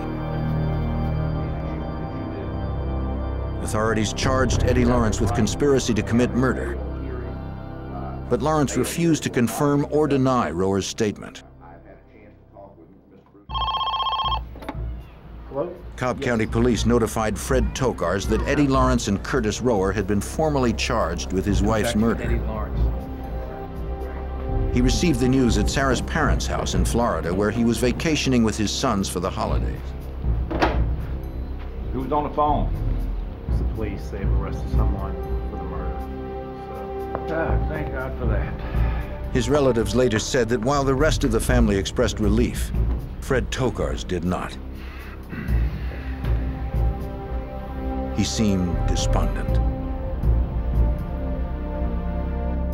The arrests of Lawrence and Rower had made national headlines. Tokars was caught in that same spotlight and refused to give any statements to the press. Because the suspected hitman's story conflicted with Tokar's son's version, the six-year-old was asked to view a suspect lineup. Police explained that though he would be able to see five men staring at him, they would not be able to see him. The one-way mirror would prevent that. When the child said he was ready, investigators called for the men. All of them resembled the boy's description of his mother's killer. Okay, Michael. One of these gentlemen may be the person. Detectives reassured him that he could take as much time as he needed. You take your time. You look at me closely. You tell me. But it was no use. The child was either too young or too frightened to remember the killer's face. When relatives tried to reach Fred Tokars in Florida to inform him, he was nowhere to be found. Fred left the company of his in-laws and returned to his, his hotel room uh, where uh, no one heard from him. And the following morning, they tried to uh, raise him on the telephone. They tried to find him, and there were no responses.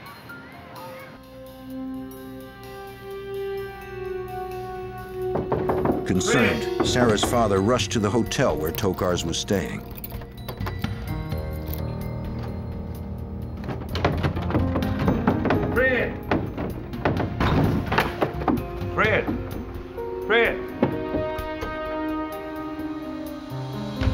Tokars had swallowed a handful of sleeping pills and washed it down with beer.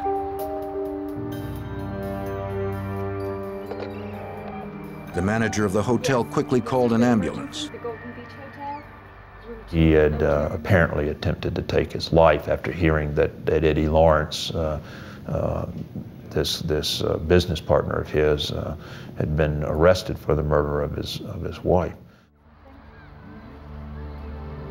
Sarah's father found a note written in Fred Tokars' handwriting on the table beside the bed.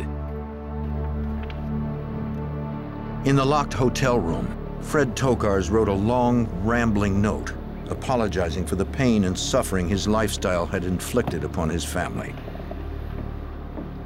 He wrote that Sarah was a great woman.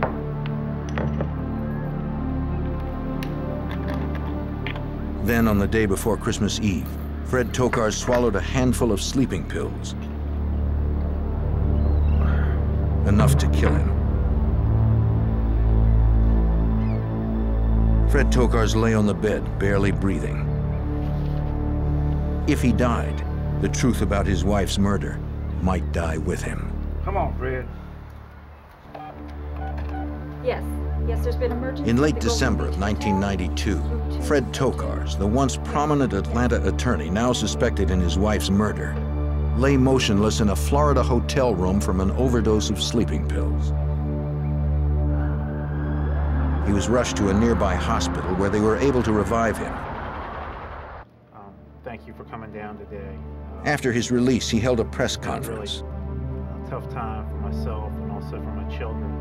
He told the public that he was very depressed and that the media was not making it easy. Who did this terrible crime? Tokars had gone to the extent of establishing residency in Florida to avoid the attention. The whole way through this, so. Um, But he believed that justice would soon be served. for your time. Mr. Tokars, may we have your comment on the arrest of Eddie Lawrence? The FBI believed justice would soon be served as well. Convinced that Fred Tokars had used his business associate Eddie Lawrence to hire a hitman to kill Fred's wife, Sarah, the team of federal and local investigators would use federal racketeering statutes known as RICO to prosecute Tokars. Building a RICO case to prove Sarah Tokars had been killed to protect her husband's illegal activities meant outlining those activities in detail. the RICO statute. It attacks basically this conspiracy of individuals who are out committing all types of different crimes, not necessarily together, but they're all for the va- benefit of this, of this criminal group to exist, to continue to exist, and to make money. Looks like things are coming together a little bit. I appreciate all A federal grand jury named Tokars as an unindicted co-conspirator in the homicide. Though Tokars' partner, Eddie Lawrence, had remained silent after seven months in prison, investigators hoped the public indictment might encourage Lawrence to testify against Tokars. Not long after, the Atlanta U.S. Attorney's Office received a phone call that Eddie Lawrence was ready to cooperate in exchange for sentencing consideration. We've got some work to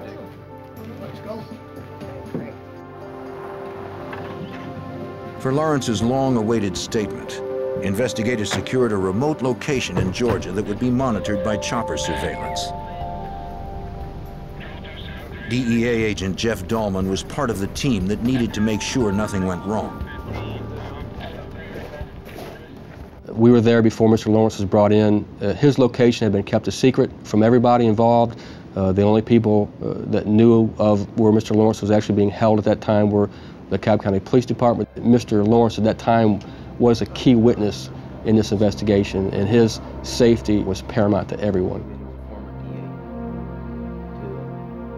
Inside a fortified house, Eddie Lawrence told investigators that he and Tokars were not just partners in the construction business. They were also involved in laundering drug money.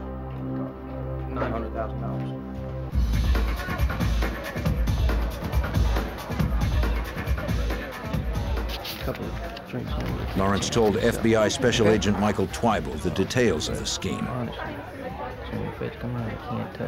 Mr. Tokars wanted him to try to solicit drug clients in the various nightclubs and bring them to him so he could launder their money.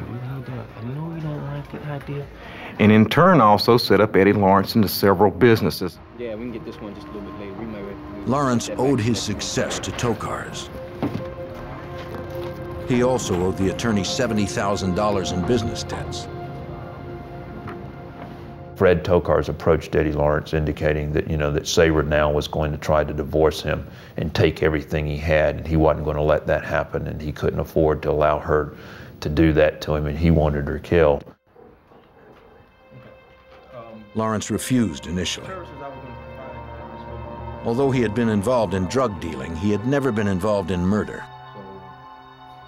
Mr. Lawrence said, well, just let her have the house and the kids and the cars.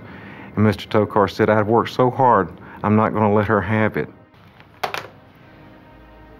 Lawrence said that Tokars planned the murder for several months. His first idea was to have Sarah shot in his office, but decided the couple's home was a better location. Tokars was to pay Lawrence $25,000 for the hit. Mr. Lawrence advised that Mr. Tokars wanted to be out of town and that for Mr. Lawrence to commit the murder uh, as a burglary, basically uh, in front of his children, uh, which is very unusual. He told Mr. Lawrence that the kids would get over it, that they're young, and it wouldn't bother them saying that their mother was murdered. And, uh, I, I found that Lawrence admitted he didn't have the nerve to kill an innocent woman, so he hired Curtis Rower.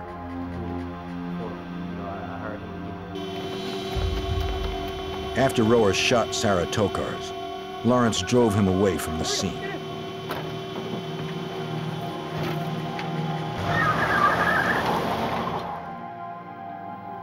Since he cooperated, Lawrence earned 12 and a half years for his part in setting up the murder. The hitman he hired, Curtis Rower, was sentenced to life without parole. For the time being, Tokars was still a free man.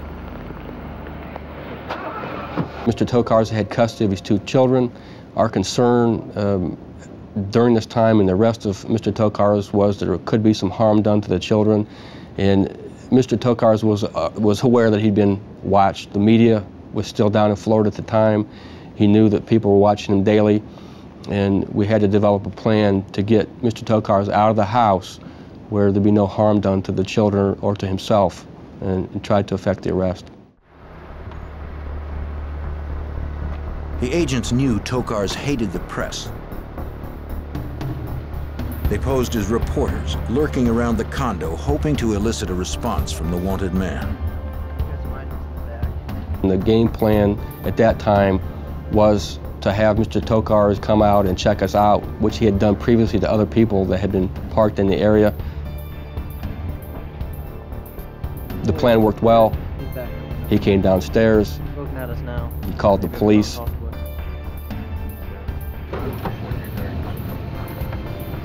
Local officers arrived, aware of the ruse.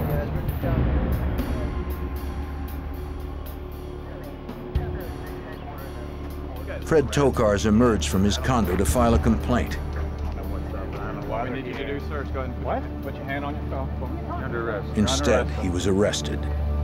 Spread your legs for. Fred Tokars pleaded not guilty to the charges against him. Go ahead and put your hand but separate state and federal juries found him guilty of racketeering, money laundering, murder for hire, and murder. He was sentenced to four life terms with no chance of parole.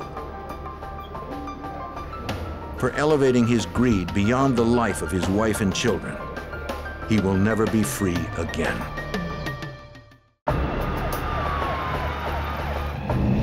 In Memphis, Tennessee, a horrible crime terrified local residents. Most never heard the young mother's screams. but they felt the loss. As local authorities searched for the perpetrator, they found many who had motive. Investigators were forced to consider whether this was a random act of violence or a crime of deliberate calculation.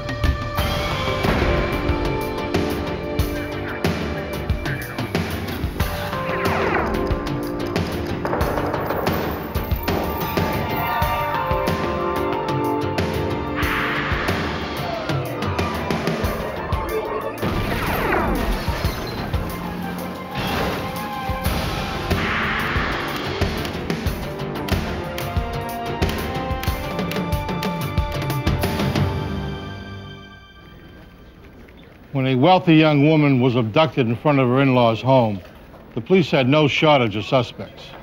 The 25-year-old victim left behind a tumultuous marriage, an ex-husband, and old boyfriends. All were on the FBI's short list.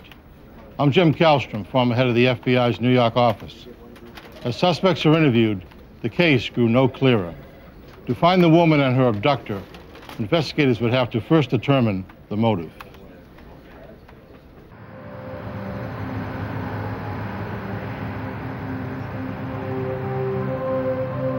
Tunica County, Mississippi, just south of Memphis, Tennessee, is America's third largest gambling destination.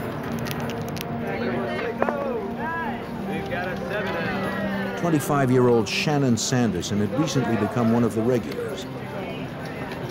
On April 19, 1996, the housewife from nearby Memphis, Tennessee, visited her favorite casino. Shannon was having a good night. She managed to turn $500 into 5000 at the high-stakes blackjack table.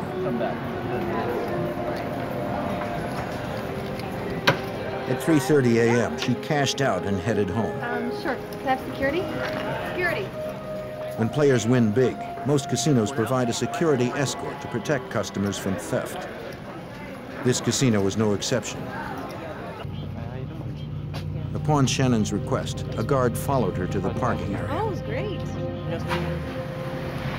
It was an hour's drive to Shannon's home in Memphis through secluded roads.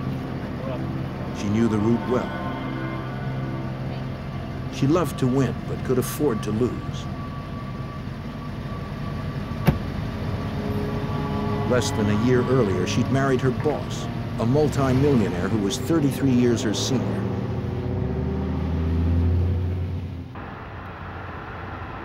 Earlier that evening, she had dropped off her three young children from her previous marriage at the home of their grandparents in northeast Memphis. It was about 4.45 a.m. when Shannon pulled into the grandparents' driveway to pick up her children. She needed to get them off to school on time in the morning.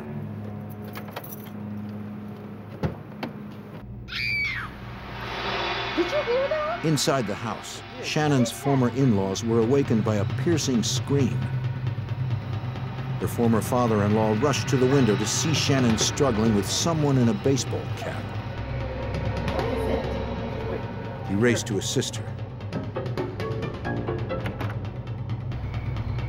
Neighbors also heard the commotion and witnessed the crime. Within seconds, the mother of three had been abducted less than 50 feet from the front door.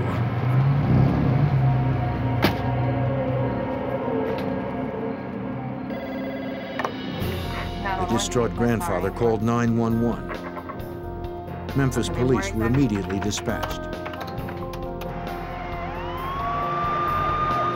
In kidnapping cases, a quick response can mean the difference between life and death. Police arrived within minutes and interviewed Shannon's former father.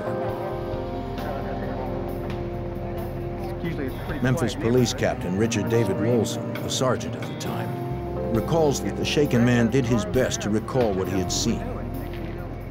Her ex-father-in-law heard a commotion and observed a car driving away. At the same time, some other neighbors on the street heard the commotion and, and also looked out and saw a car drive away and gave a description of the driver and description of the car. Despite the dim light, witnesses agreed that the driver had worn a red baseball cap. but their descriptions of the vehicle varied. Some described it vaguely as dark-colored and sporty. She was by herself. Another witness was certain that it was a maroon Chevy She Beretta. dropped the kids off by herself too, so. None of them could describe the driver's face. Like I said, though, it was hard. On the driveway, close to the street, police found two metal buttons assumed to have been torn from Shannon's clothing. Close by, they recovered a single artificial fingernail. The victim's car was searched, but police found nothing to suggest the identity of her abductor or Shannon's whereabouts. Her ex-father-in-law had seen Shannon earlier that evening when she had dropped off her children.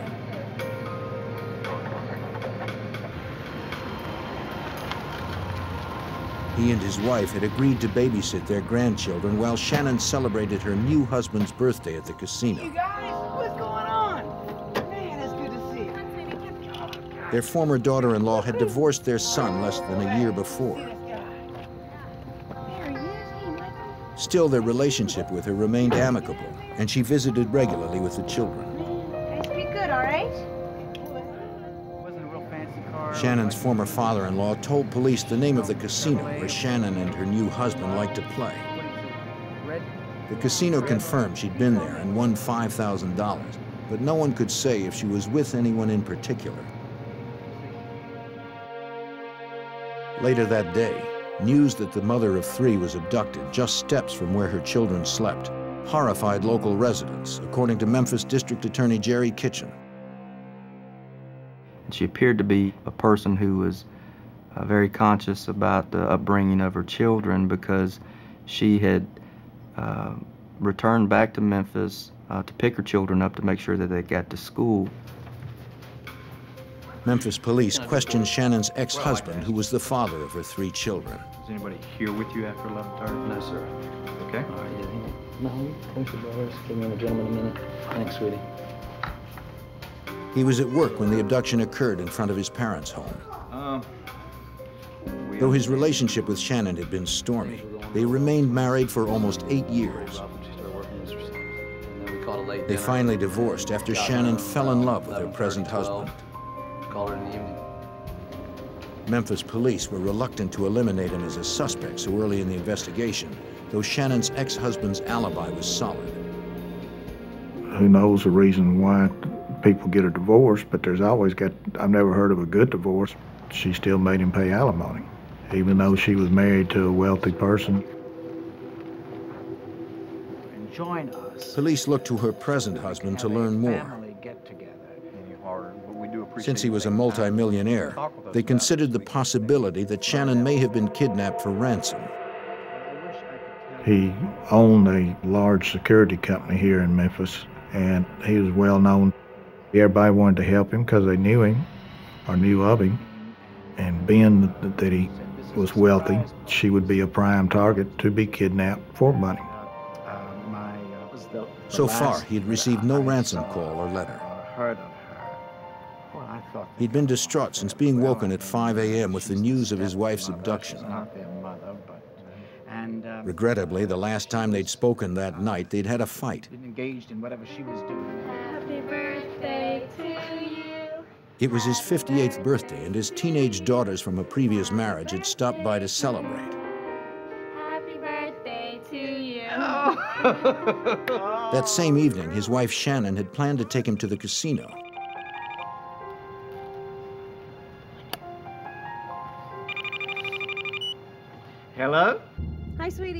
After dropping off her children, she called to say that she was on the way to pick him up. He told her he wasn't ready. His daughters were there, and he wanted to spend more time with them before going out. Would go there tonight. No. Shannon became angry. We don't get along. According to her husband, she felt he was putting his children ahead of their plans. He told her he could be ready in a half hour, but she hung up on him. Hello? He expected that she'd cool down and pick him up. But when he tried to call later, she did not answer. She, she and I are just. Uh, Just sit down. I guess there's just such a difference in our age. Police asked if he knew anyone who might want to harm Shannon. The last thing I said, she said to me was something. The husband mentioned an ex-boyfriend against whom Shannon had filed charges of harassment a year earlier. He believed the ex-boyfriend drove a Chevy Beretta.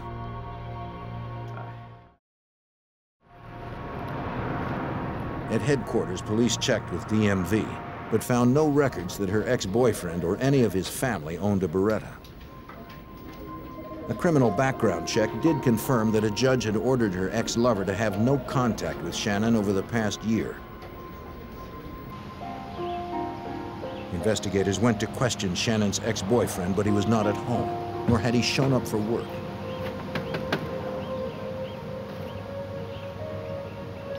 His sister lived in the same neighborhood, a few blocks from where Shannon had been abducted.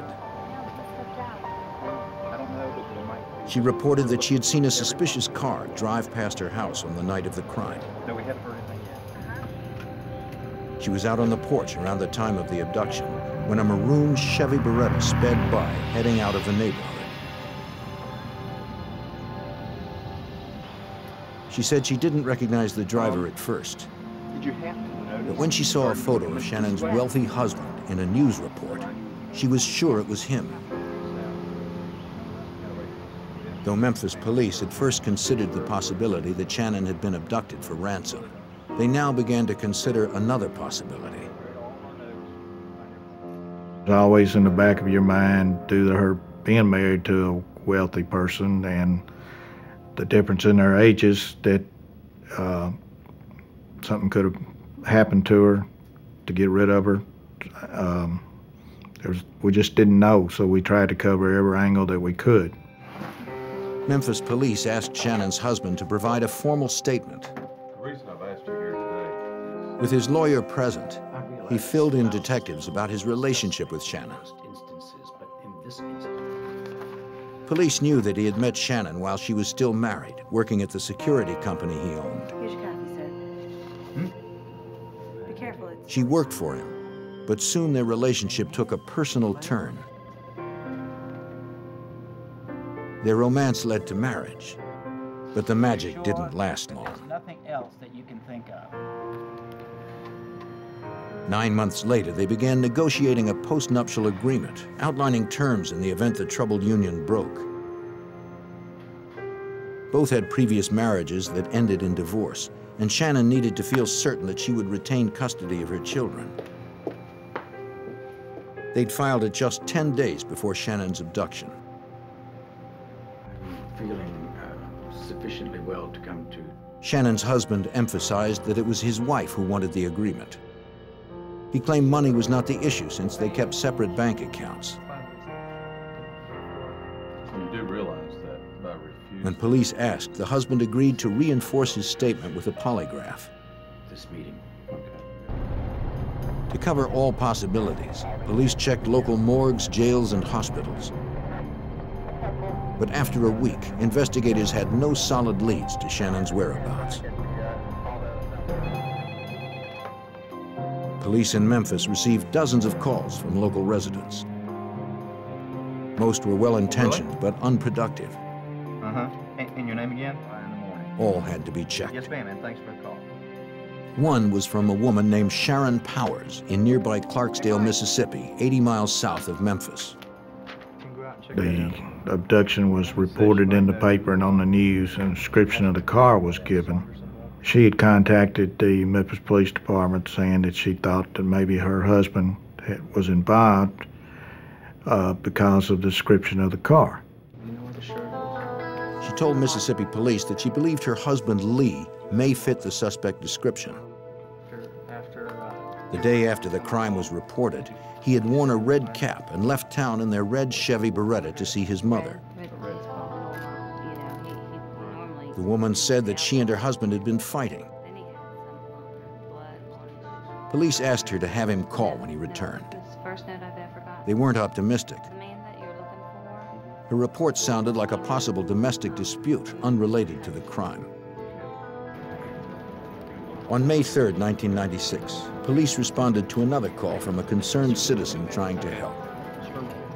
At a casino in Tunica County, Mississippi, a witness believed he had spotted Shannon Sanderson dressed as a casino employee.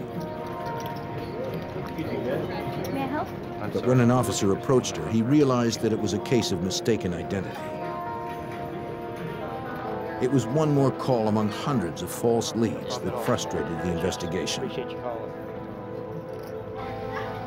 After two weeks of searching, local investigators were no closer to finding the missing mother of three.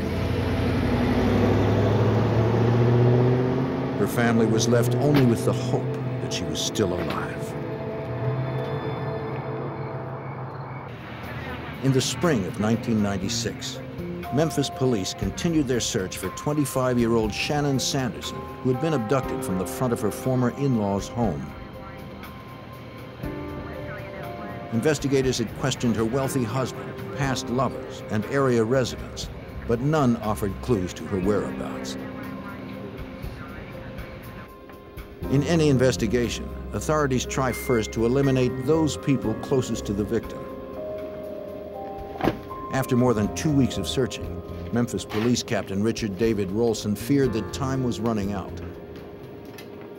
Due to her past uh, boyfriends and lovers, we just didn't know what happened, but as the days went by, the chances of finding her alive were slimmer and slimmer. On May 6th, Shannon's ex-boyfriend finally came in for questioning. Friend of yours? No. He had only recently completed his year-long probation of harassment charges against Shannon. He claimed to be asleep in his mother's house at the time of her abduction. According to the ex-boyfriend, he avoided Shannon as his probation required, but Shannon continued to call him, complaining that she wasn't happy with her new marriage. He added that he would have to talk to his lawyer before agreeing to take a polygraph. He remained a potential suspect. But as with Shannon's husband, no hard evidence existed to prove nor disprove his involvement.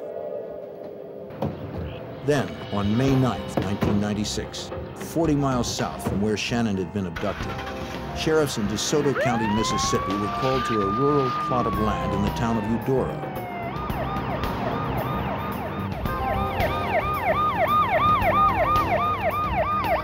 Two people had been inspecting their new property when they noticed a strong odor.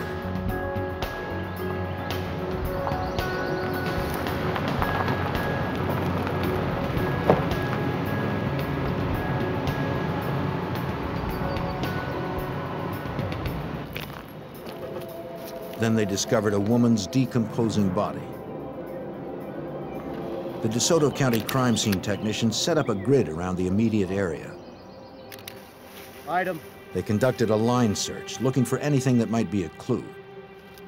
Go. They labeled and recorded every item they came across as they drew closer to the body. 15 feet away, they found a woman's high-heeled shoe. Go.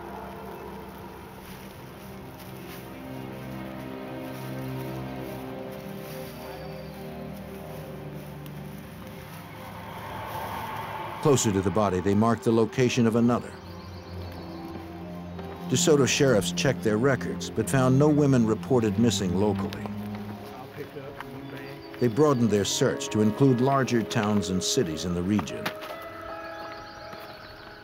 When they contacted Memphis authorities, police there told them that a 25-year-old mother of three named Shannon Sanderson had been missing for more than two weeks. DeSoto deputies learned that she was blonde, approximately 5'5", 130 pounds, had a small tattoo, and was last seen wearing a dress, high heels, a jacket with metal buttons, and pink artificial fingernails. So. That description fit the body, but they needed an autopsy to confirm her identity and cause of death. The medical examiner determined that the victim had been killed by a single 25 caliber bullet to the right temple. Yes, sir. Date and time. The victim's clothes were removed and preserved to check for trace evidence that might lead to the killer. The body, dead an estimated two to three weeks, was too decomposed to recognize. But over her left breast, examiners found a small tattoo that was still visible. It said, I love you, Robert. Shannon Sanderson had such a tattoo. The medical examiner compared her dental records to x-rays from the body. Okay, definite X-rays. They confirmed the ID. This was Shannon Sanderson's body. The abduction was now officially a homicide. In Memphis, Assistant District Attorney Jerry Kitchen was called in. His first task would be to somehow narrow the suspect list the police had developed over the past three weeks. Here in Memphis, it's somewhat unusual in that we have relatively few uh, murder cases that we would classify as mystery homicides where uh, someone's not either developed as a suspect rather quickly or arrested uh, soon after the incident. Um, but in this particular case, uh, it was a mystery uh, homicide with numerous suspects that uh, were listed as potentially being involved in the abduction and, and killing of the victim. The assistant district attorney first called the Tennessee Bureau of Investigation to conduct polygraph examinations to help eliminate potential suspects. He also contacted the FBI since Shannon's body was found across the Tennessee state line. Supervisory Special Agent Jennifer Aiken from the FBI's Memphis field office was assigned as case agent. They felt they needed some additional resources. The case was a very difficult case across jurisdictions, and they wanted the FBI to be involved as part of the team um, working towards a solution because it was it was not an easy an easy case. Memphis authorities hoped that Agent Aiken's experience would help unravel the complexities of this case. Local residents were fearful that Shannon's killer was still out there, not knowing if or when he would strike again.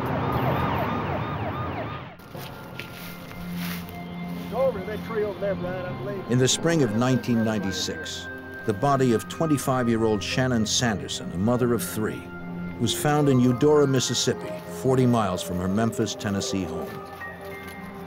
The FBI, together with state and local investigators, needed to shorten the lengthy suspect list that included Shannon's husband and past lovers. Assistant District Attorney Jerry Kitchen hoped polygraph examinations could help focus their search. This investigation was difficult in that there were a lot of suspects in this particular case. Throughout the victim's life, she had, of course, been divorced. And naturally, in any type of murder case, so uh, you some you you do focus in and you do look at uh, relatives or acquaintances or husbands, uh, any type of relationship that the victim may have been involved in that uh, uh, could uh, lead back to some type of dispute or domestic violence. Tennessee state authorities tested several of Shannon's ex-lovers. They asked them their whereabouts on the night of the abduction. They asked directly if they had abducted or killed Shannon. All denied any involvement. The tests revealed no deception. Investigators corroborated their alibis and eliminated them as potential suspects. They also polygraphed the witness who claimed to have seen Shannon's current husband driving a maroon Chevy Beretta in the neighborhood moments before the abduction occurred. It was the same type of vehicle other witnesses had described that Shannon was forced into. But the woman was found to be deceptive. These are Becky's charts. Her. Though police now believed her claim was false, that she had seen Shannon's husband driving the getaway vehicle. They also knew that Shannon's brief marriage with her wealthy husband had been rocky. They wanted to confirm once and for all that he had not been involved in any way. This question about about uh, honesty and what she. This crime occurred at 4 o'clock in the morning. The victim's husband had indicated that he went to bed and that there was no one else that he was with. And so he really had no alibi. And so that was an area that was difficult for us to get over uh, because we could not lock down exactly where he was and what he was doing without uh, other than what he was telling us. Investigators contacted Shannon's husband to be polygraphed. Though he had previously agreed to do so, on advice from his lawyer, he declined. Heart medication that he was taking may have induced a false reading, according to his lawyer. Are you feeling? Do you have any objections? For Captain Rolson, the husband's refusal didn't alleviate the suspicions that surrounded him. You couldn't understand if he didn't have anything to do with it, why he wouldn't be wanting to cooperate. And being a homicide detective, you're suspicious, and and uh, it just made him that more suspicious. In terms of incriminating evidence, the investigation was at a standstill. Supervisory Special Agent Jennifer Aiken hoped to refocus the investigation by examining leads that may have been overlooked. We have to look at all of the possibilities, and, and that's you know part of the battle in the beginning is not to get too far down the road in speculating about what kind of of guy this could be, um, and and what you know what his relationship or no, you know non-relationship would be to the victim. What we did then is identify what else, what other possibilities um, uh, do we still need to explore.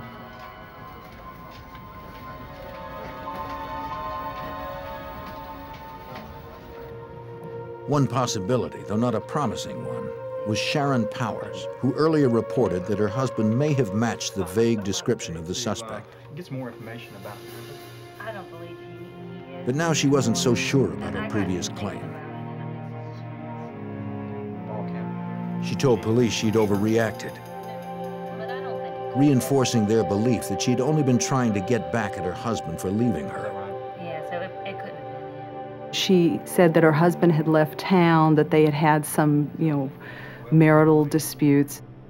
They felt that perhaps um, this report was really just sort of sour grapes and that she was trying to get her husband, um, maybe estranged husband, into trouble of some kind. So they really just simply did not know how much weight to give uh, this rather conflicting and, and kind of half hearted story that she was telling. Though her husband wasn't a serious suspect, police wanted to talk with him. A bulletin for Gerald Lee Powers was issued that he was wanted for questioning in Tennessee.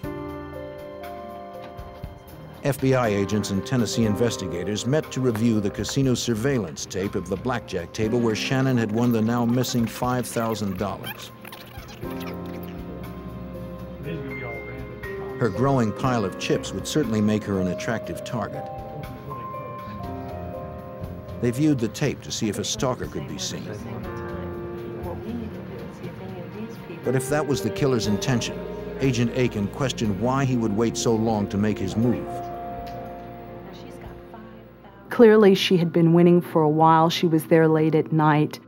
There were a number of factors that made her visit to that casino rather high risk. And yet, we had this abduction occurring almost an hour to an hour and a half after she left that environment. So, first, we had to determine did it have anything or nothing to do with her visit to that casino?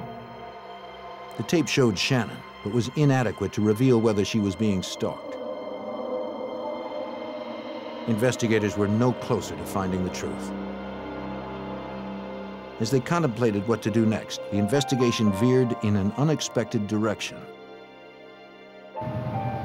On May 22, 1996, near Hebbronville, Texas, 750 miles from where Shannon was seen forced into a car described as a Chevy Beretta, a vehicle fitting that description erratically swerved away from a border checkpoint.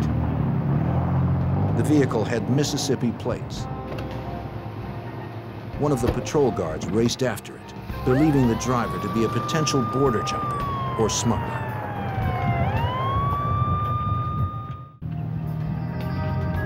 In May of 1996, as the investigation continued into the kidnapping and murder of a young Tennessee mother, U.S. Border Patrol agents chased down a fleeing maroon Chevy Beretta with Mississippi plates, the type of car described by witnesses in the abduction.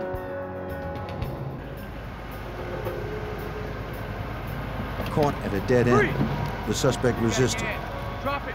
Drop the knife. Up against the car. Up against the car. then backed down when confronted by the agent's gun. He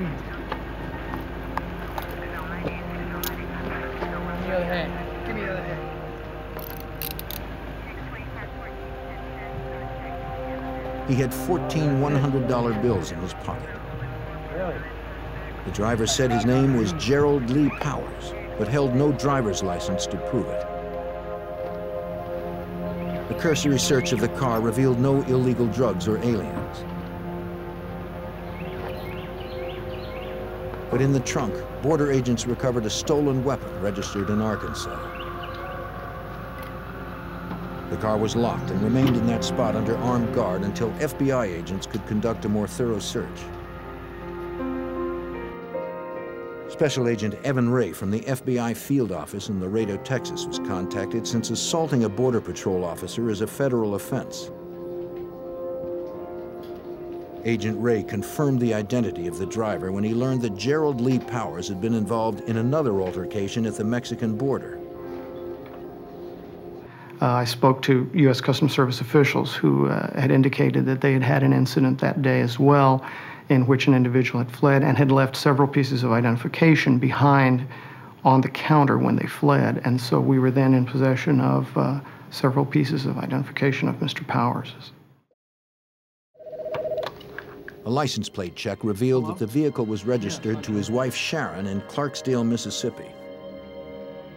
Agent Ray also discovered that Gerald Lee Powers had a violent past and was currently wanted for questioning in the abduction and murder of Shannon Sanderson.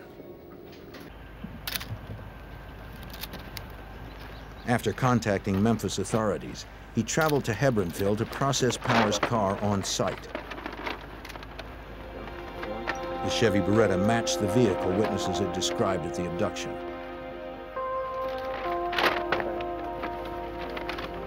Agents hoped something inside would link the vehicle and Powers to the murder of Shannon Sanderson. A sheet and pillowcase, along with the trunk liner, were bundled into evidence bags. All right, let's tape this stuff up. We'll get it back to headquarters. When you're retrieving evidence like that, you have no idea what the results of the laboratory examinations are going to be in the end. You uh, just try to get the best uh, and the most evidence that you can and let the lab do their job. Agents were less hopeful they'd find something in the car's interior since it appeared to have been recently cleaned and vacuumed. Hundreds of miles from the nearest evidence response team, Agent Ray improvised with the tools he had at hand. One item that we needed to search for were hairs and fibers in the back seat area. We didn't have the specialized equipment that the evidence response team would have, and so I used an, an unopened lint roller that I had at the office of the type one might use on a, on a suit to as an adhesive lift. Initially obscured by the front seat, the agent found a pink artificial fingernail on the floor. It was similar to those the victim had worn at the time of her abduction. Memphis prosecutor Jerry Kitchen believed this could be the clue that could definitely place Shannon Sanderson in Powers' car. Agent Ray had called us and told us that he had found a fingernail in the back seat area of the uh, floorboard of this vehicle, which is where we had felt that, based upon the witnesses' uh, uh, information they had given us, that, that the victim had been placed in the back seat of the vehicle that took her away. Memphis authorities came to Laredo to question Gerald Lee Powers about the murder. Powers told them that he knew nothing more than what he'd heard on the news. He admitted to being at the casino that night, but had left early to check on his terminally ill neighbor. While the interview continued, investigators spoke to his neighbor in Clarksdale, Mississippi, who denied that Powers had been there at that time.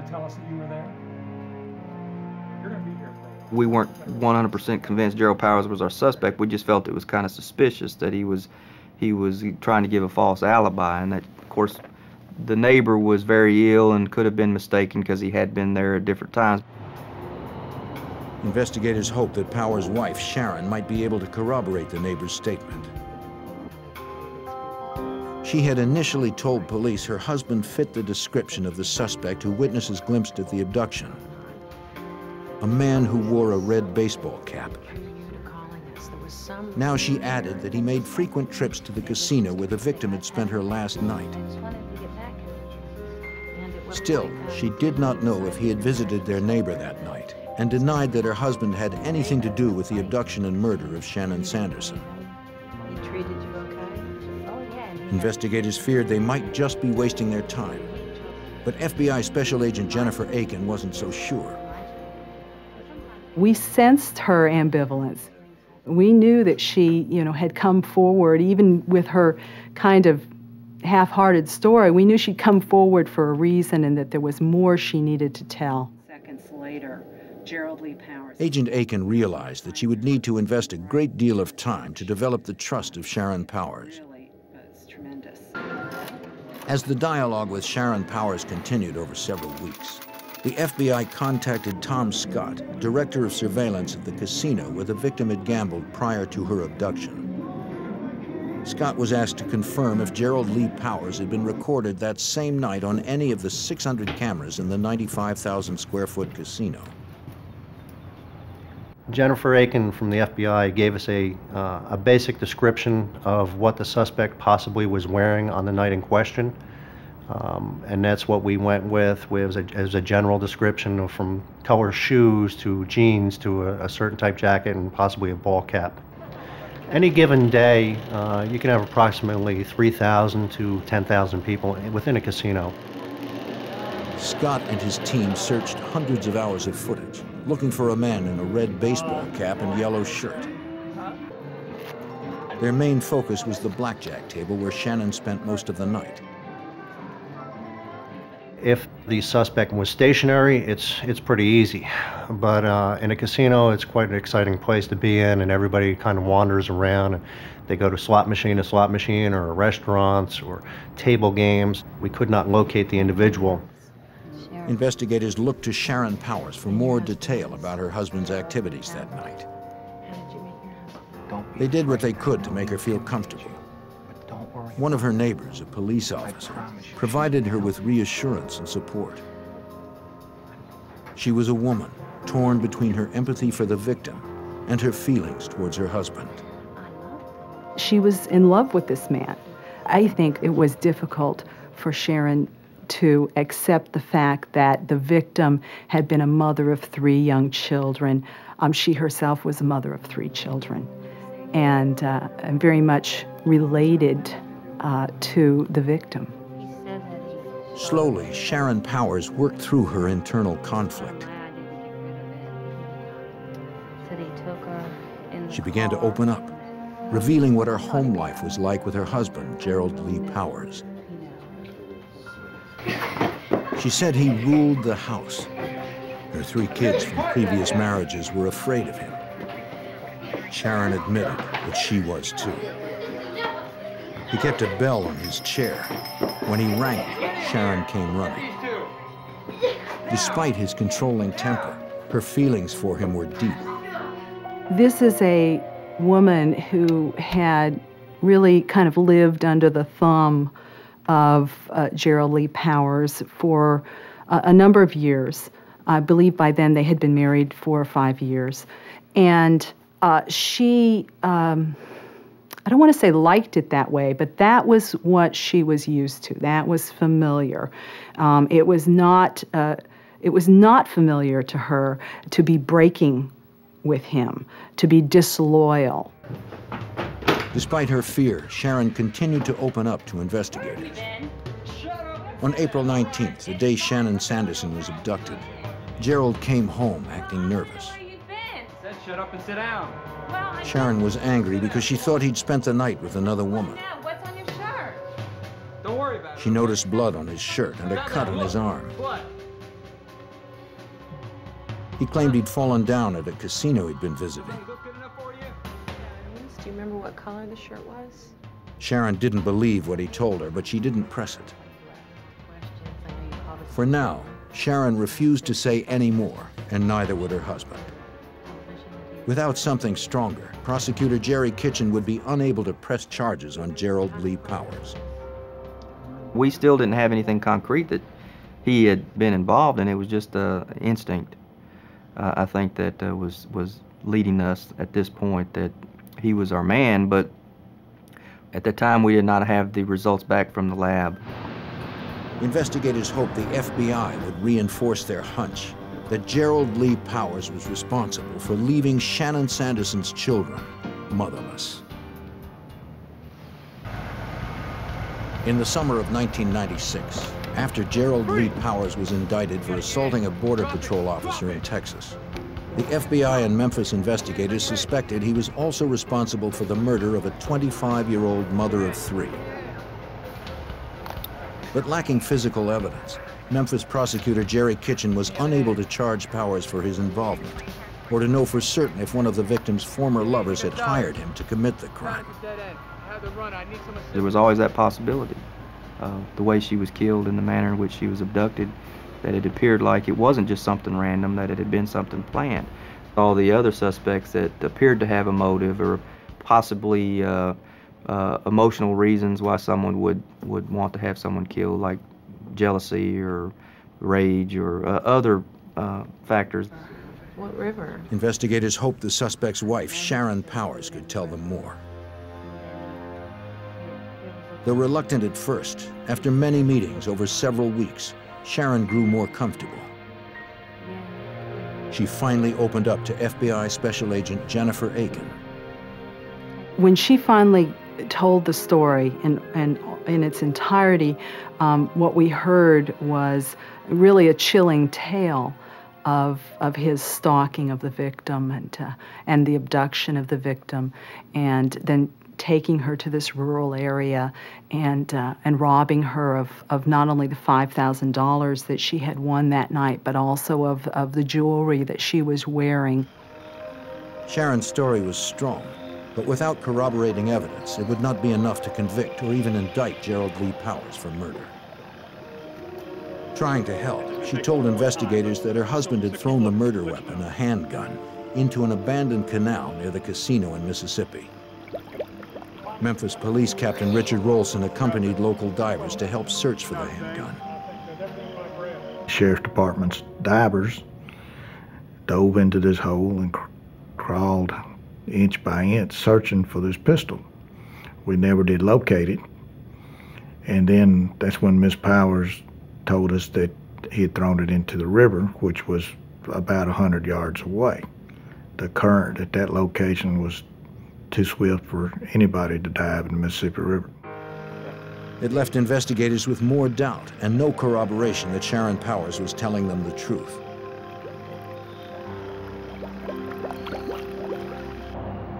The suspect's wife also told them about a school bus driver from Mississippi whom her husband believed had seen him close to where he dumped Shannon's body.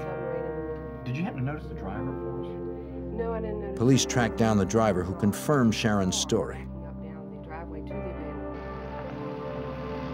At 7 a.m., about two hours after Shannon Sanderson had been abducted, the driver noticed a maroon Chevy Beretta backing down the dirt roadway of the vacant property where the victim's body was later found.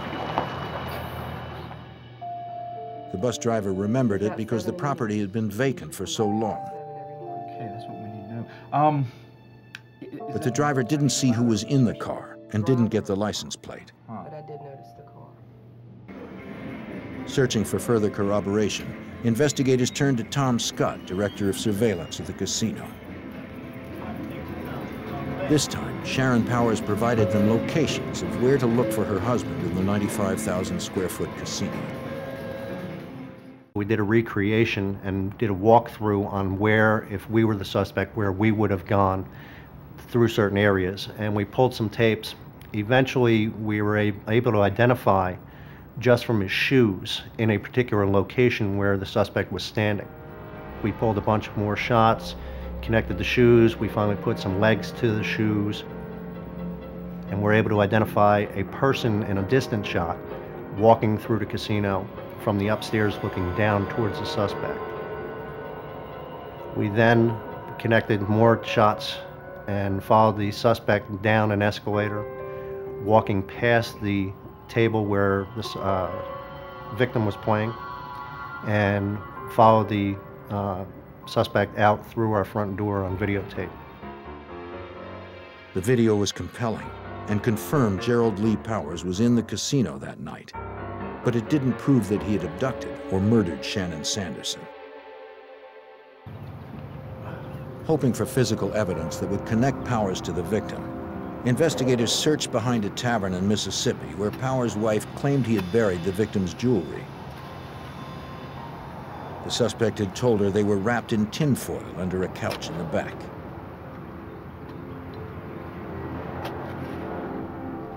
Just as Mrs. Powers described, investigators located a small bundle of foil. Inside, they found pink plastic wrap holding rings identified by the victim's husband as belonging to Shannon. Now they needed to prove forensically that Gerald Lee Powers had in fact been the one who wrapped them. Investigators went to Powers' home to search for the source of that plastic.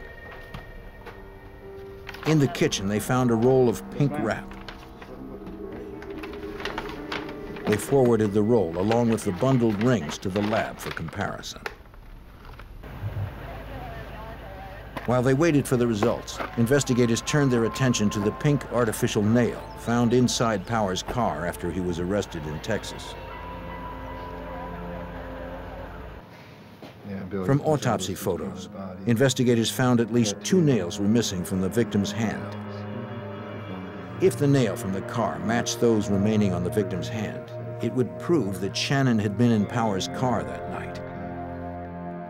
But there was a problem. Shannon had already been buried, and her husband was against exhuming her remains. She had already been interred, and so we had uh, a hearing in court to have her uh, disinterred and uh, to have the ability to examine these fingernails to see if they were in fact uh, her fingernails or not. Against her husband's wishes, the judge ordered the body exhumed. In early July, three months after the murder, investigators retrieved the body of Shannon Sanderson. Her remaining artificial nails were removed and sent to the lab for comparison with the others. The results were negative. The nail in the car wasn't hers. Investigators hoped the other evidence at the FBI lab in Washington, D.C. would provide more promising results. Inside the tinfoil ball recovered in Mississippi, examiners removed the pink plastic wrap wound tightly around some rings. The FBI needed to connect the rings physically to Gerald Lee Powers.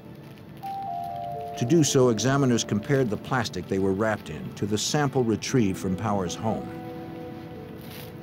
The FBI uh, agent who examined it indicated that it wasn't the exact piece that uh, was was torn off, but that it matched that roll exactly as far as the polymers and the dye and all that, which showed that this was the source that the uh, the material had come from that was wrapped around the rings. It was the first piece of forensic evidence linking Powers to the victim.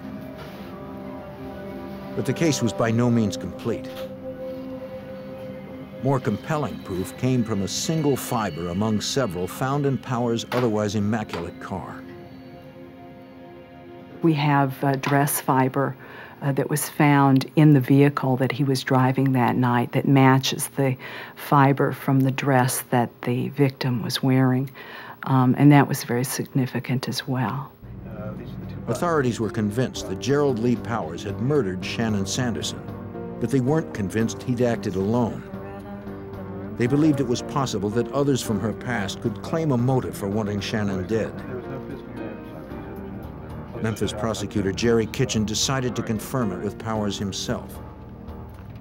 So we went to Laredo to interview uh, the defendant before we charged him with this murder.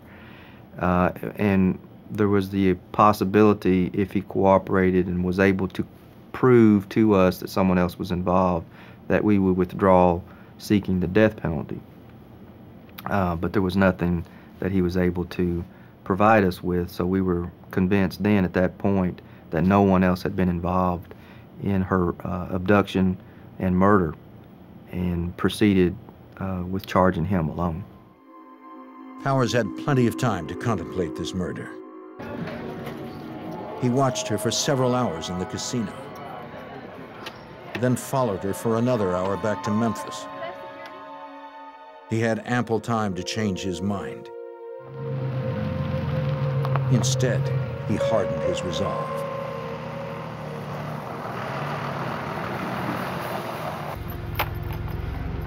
Get out of there! He abducted a mother of three, robbed her, then shot her at point blank.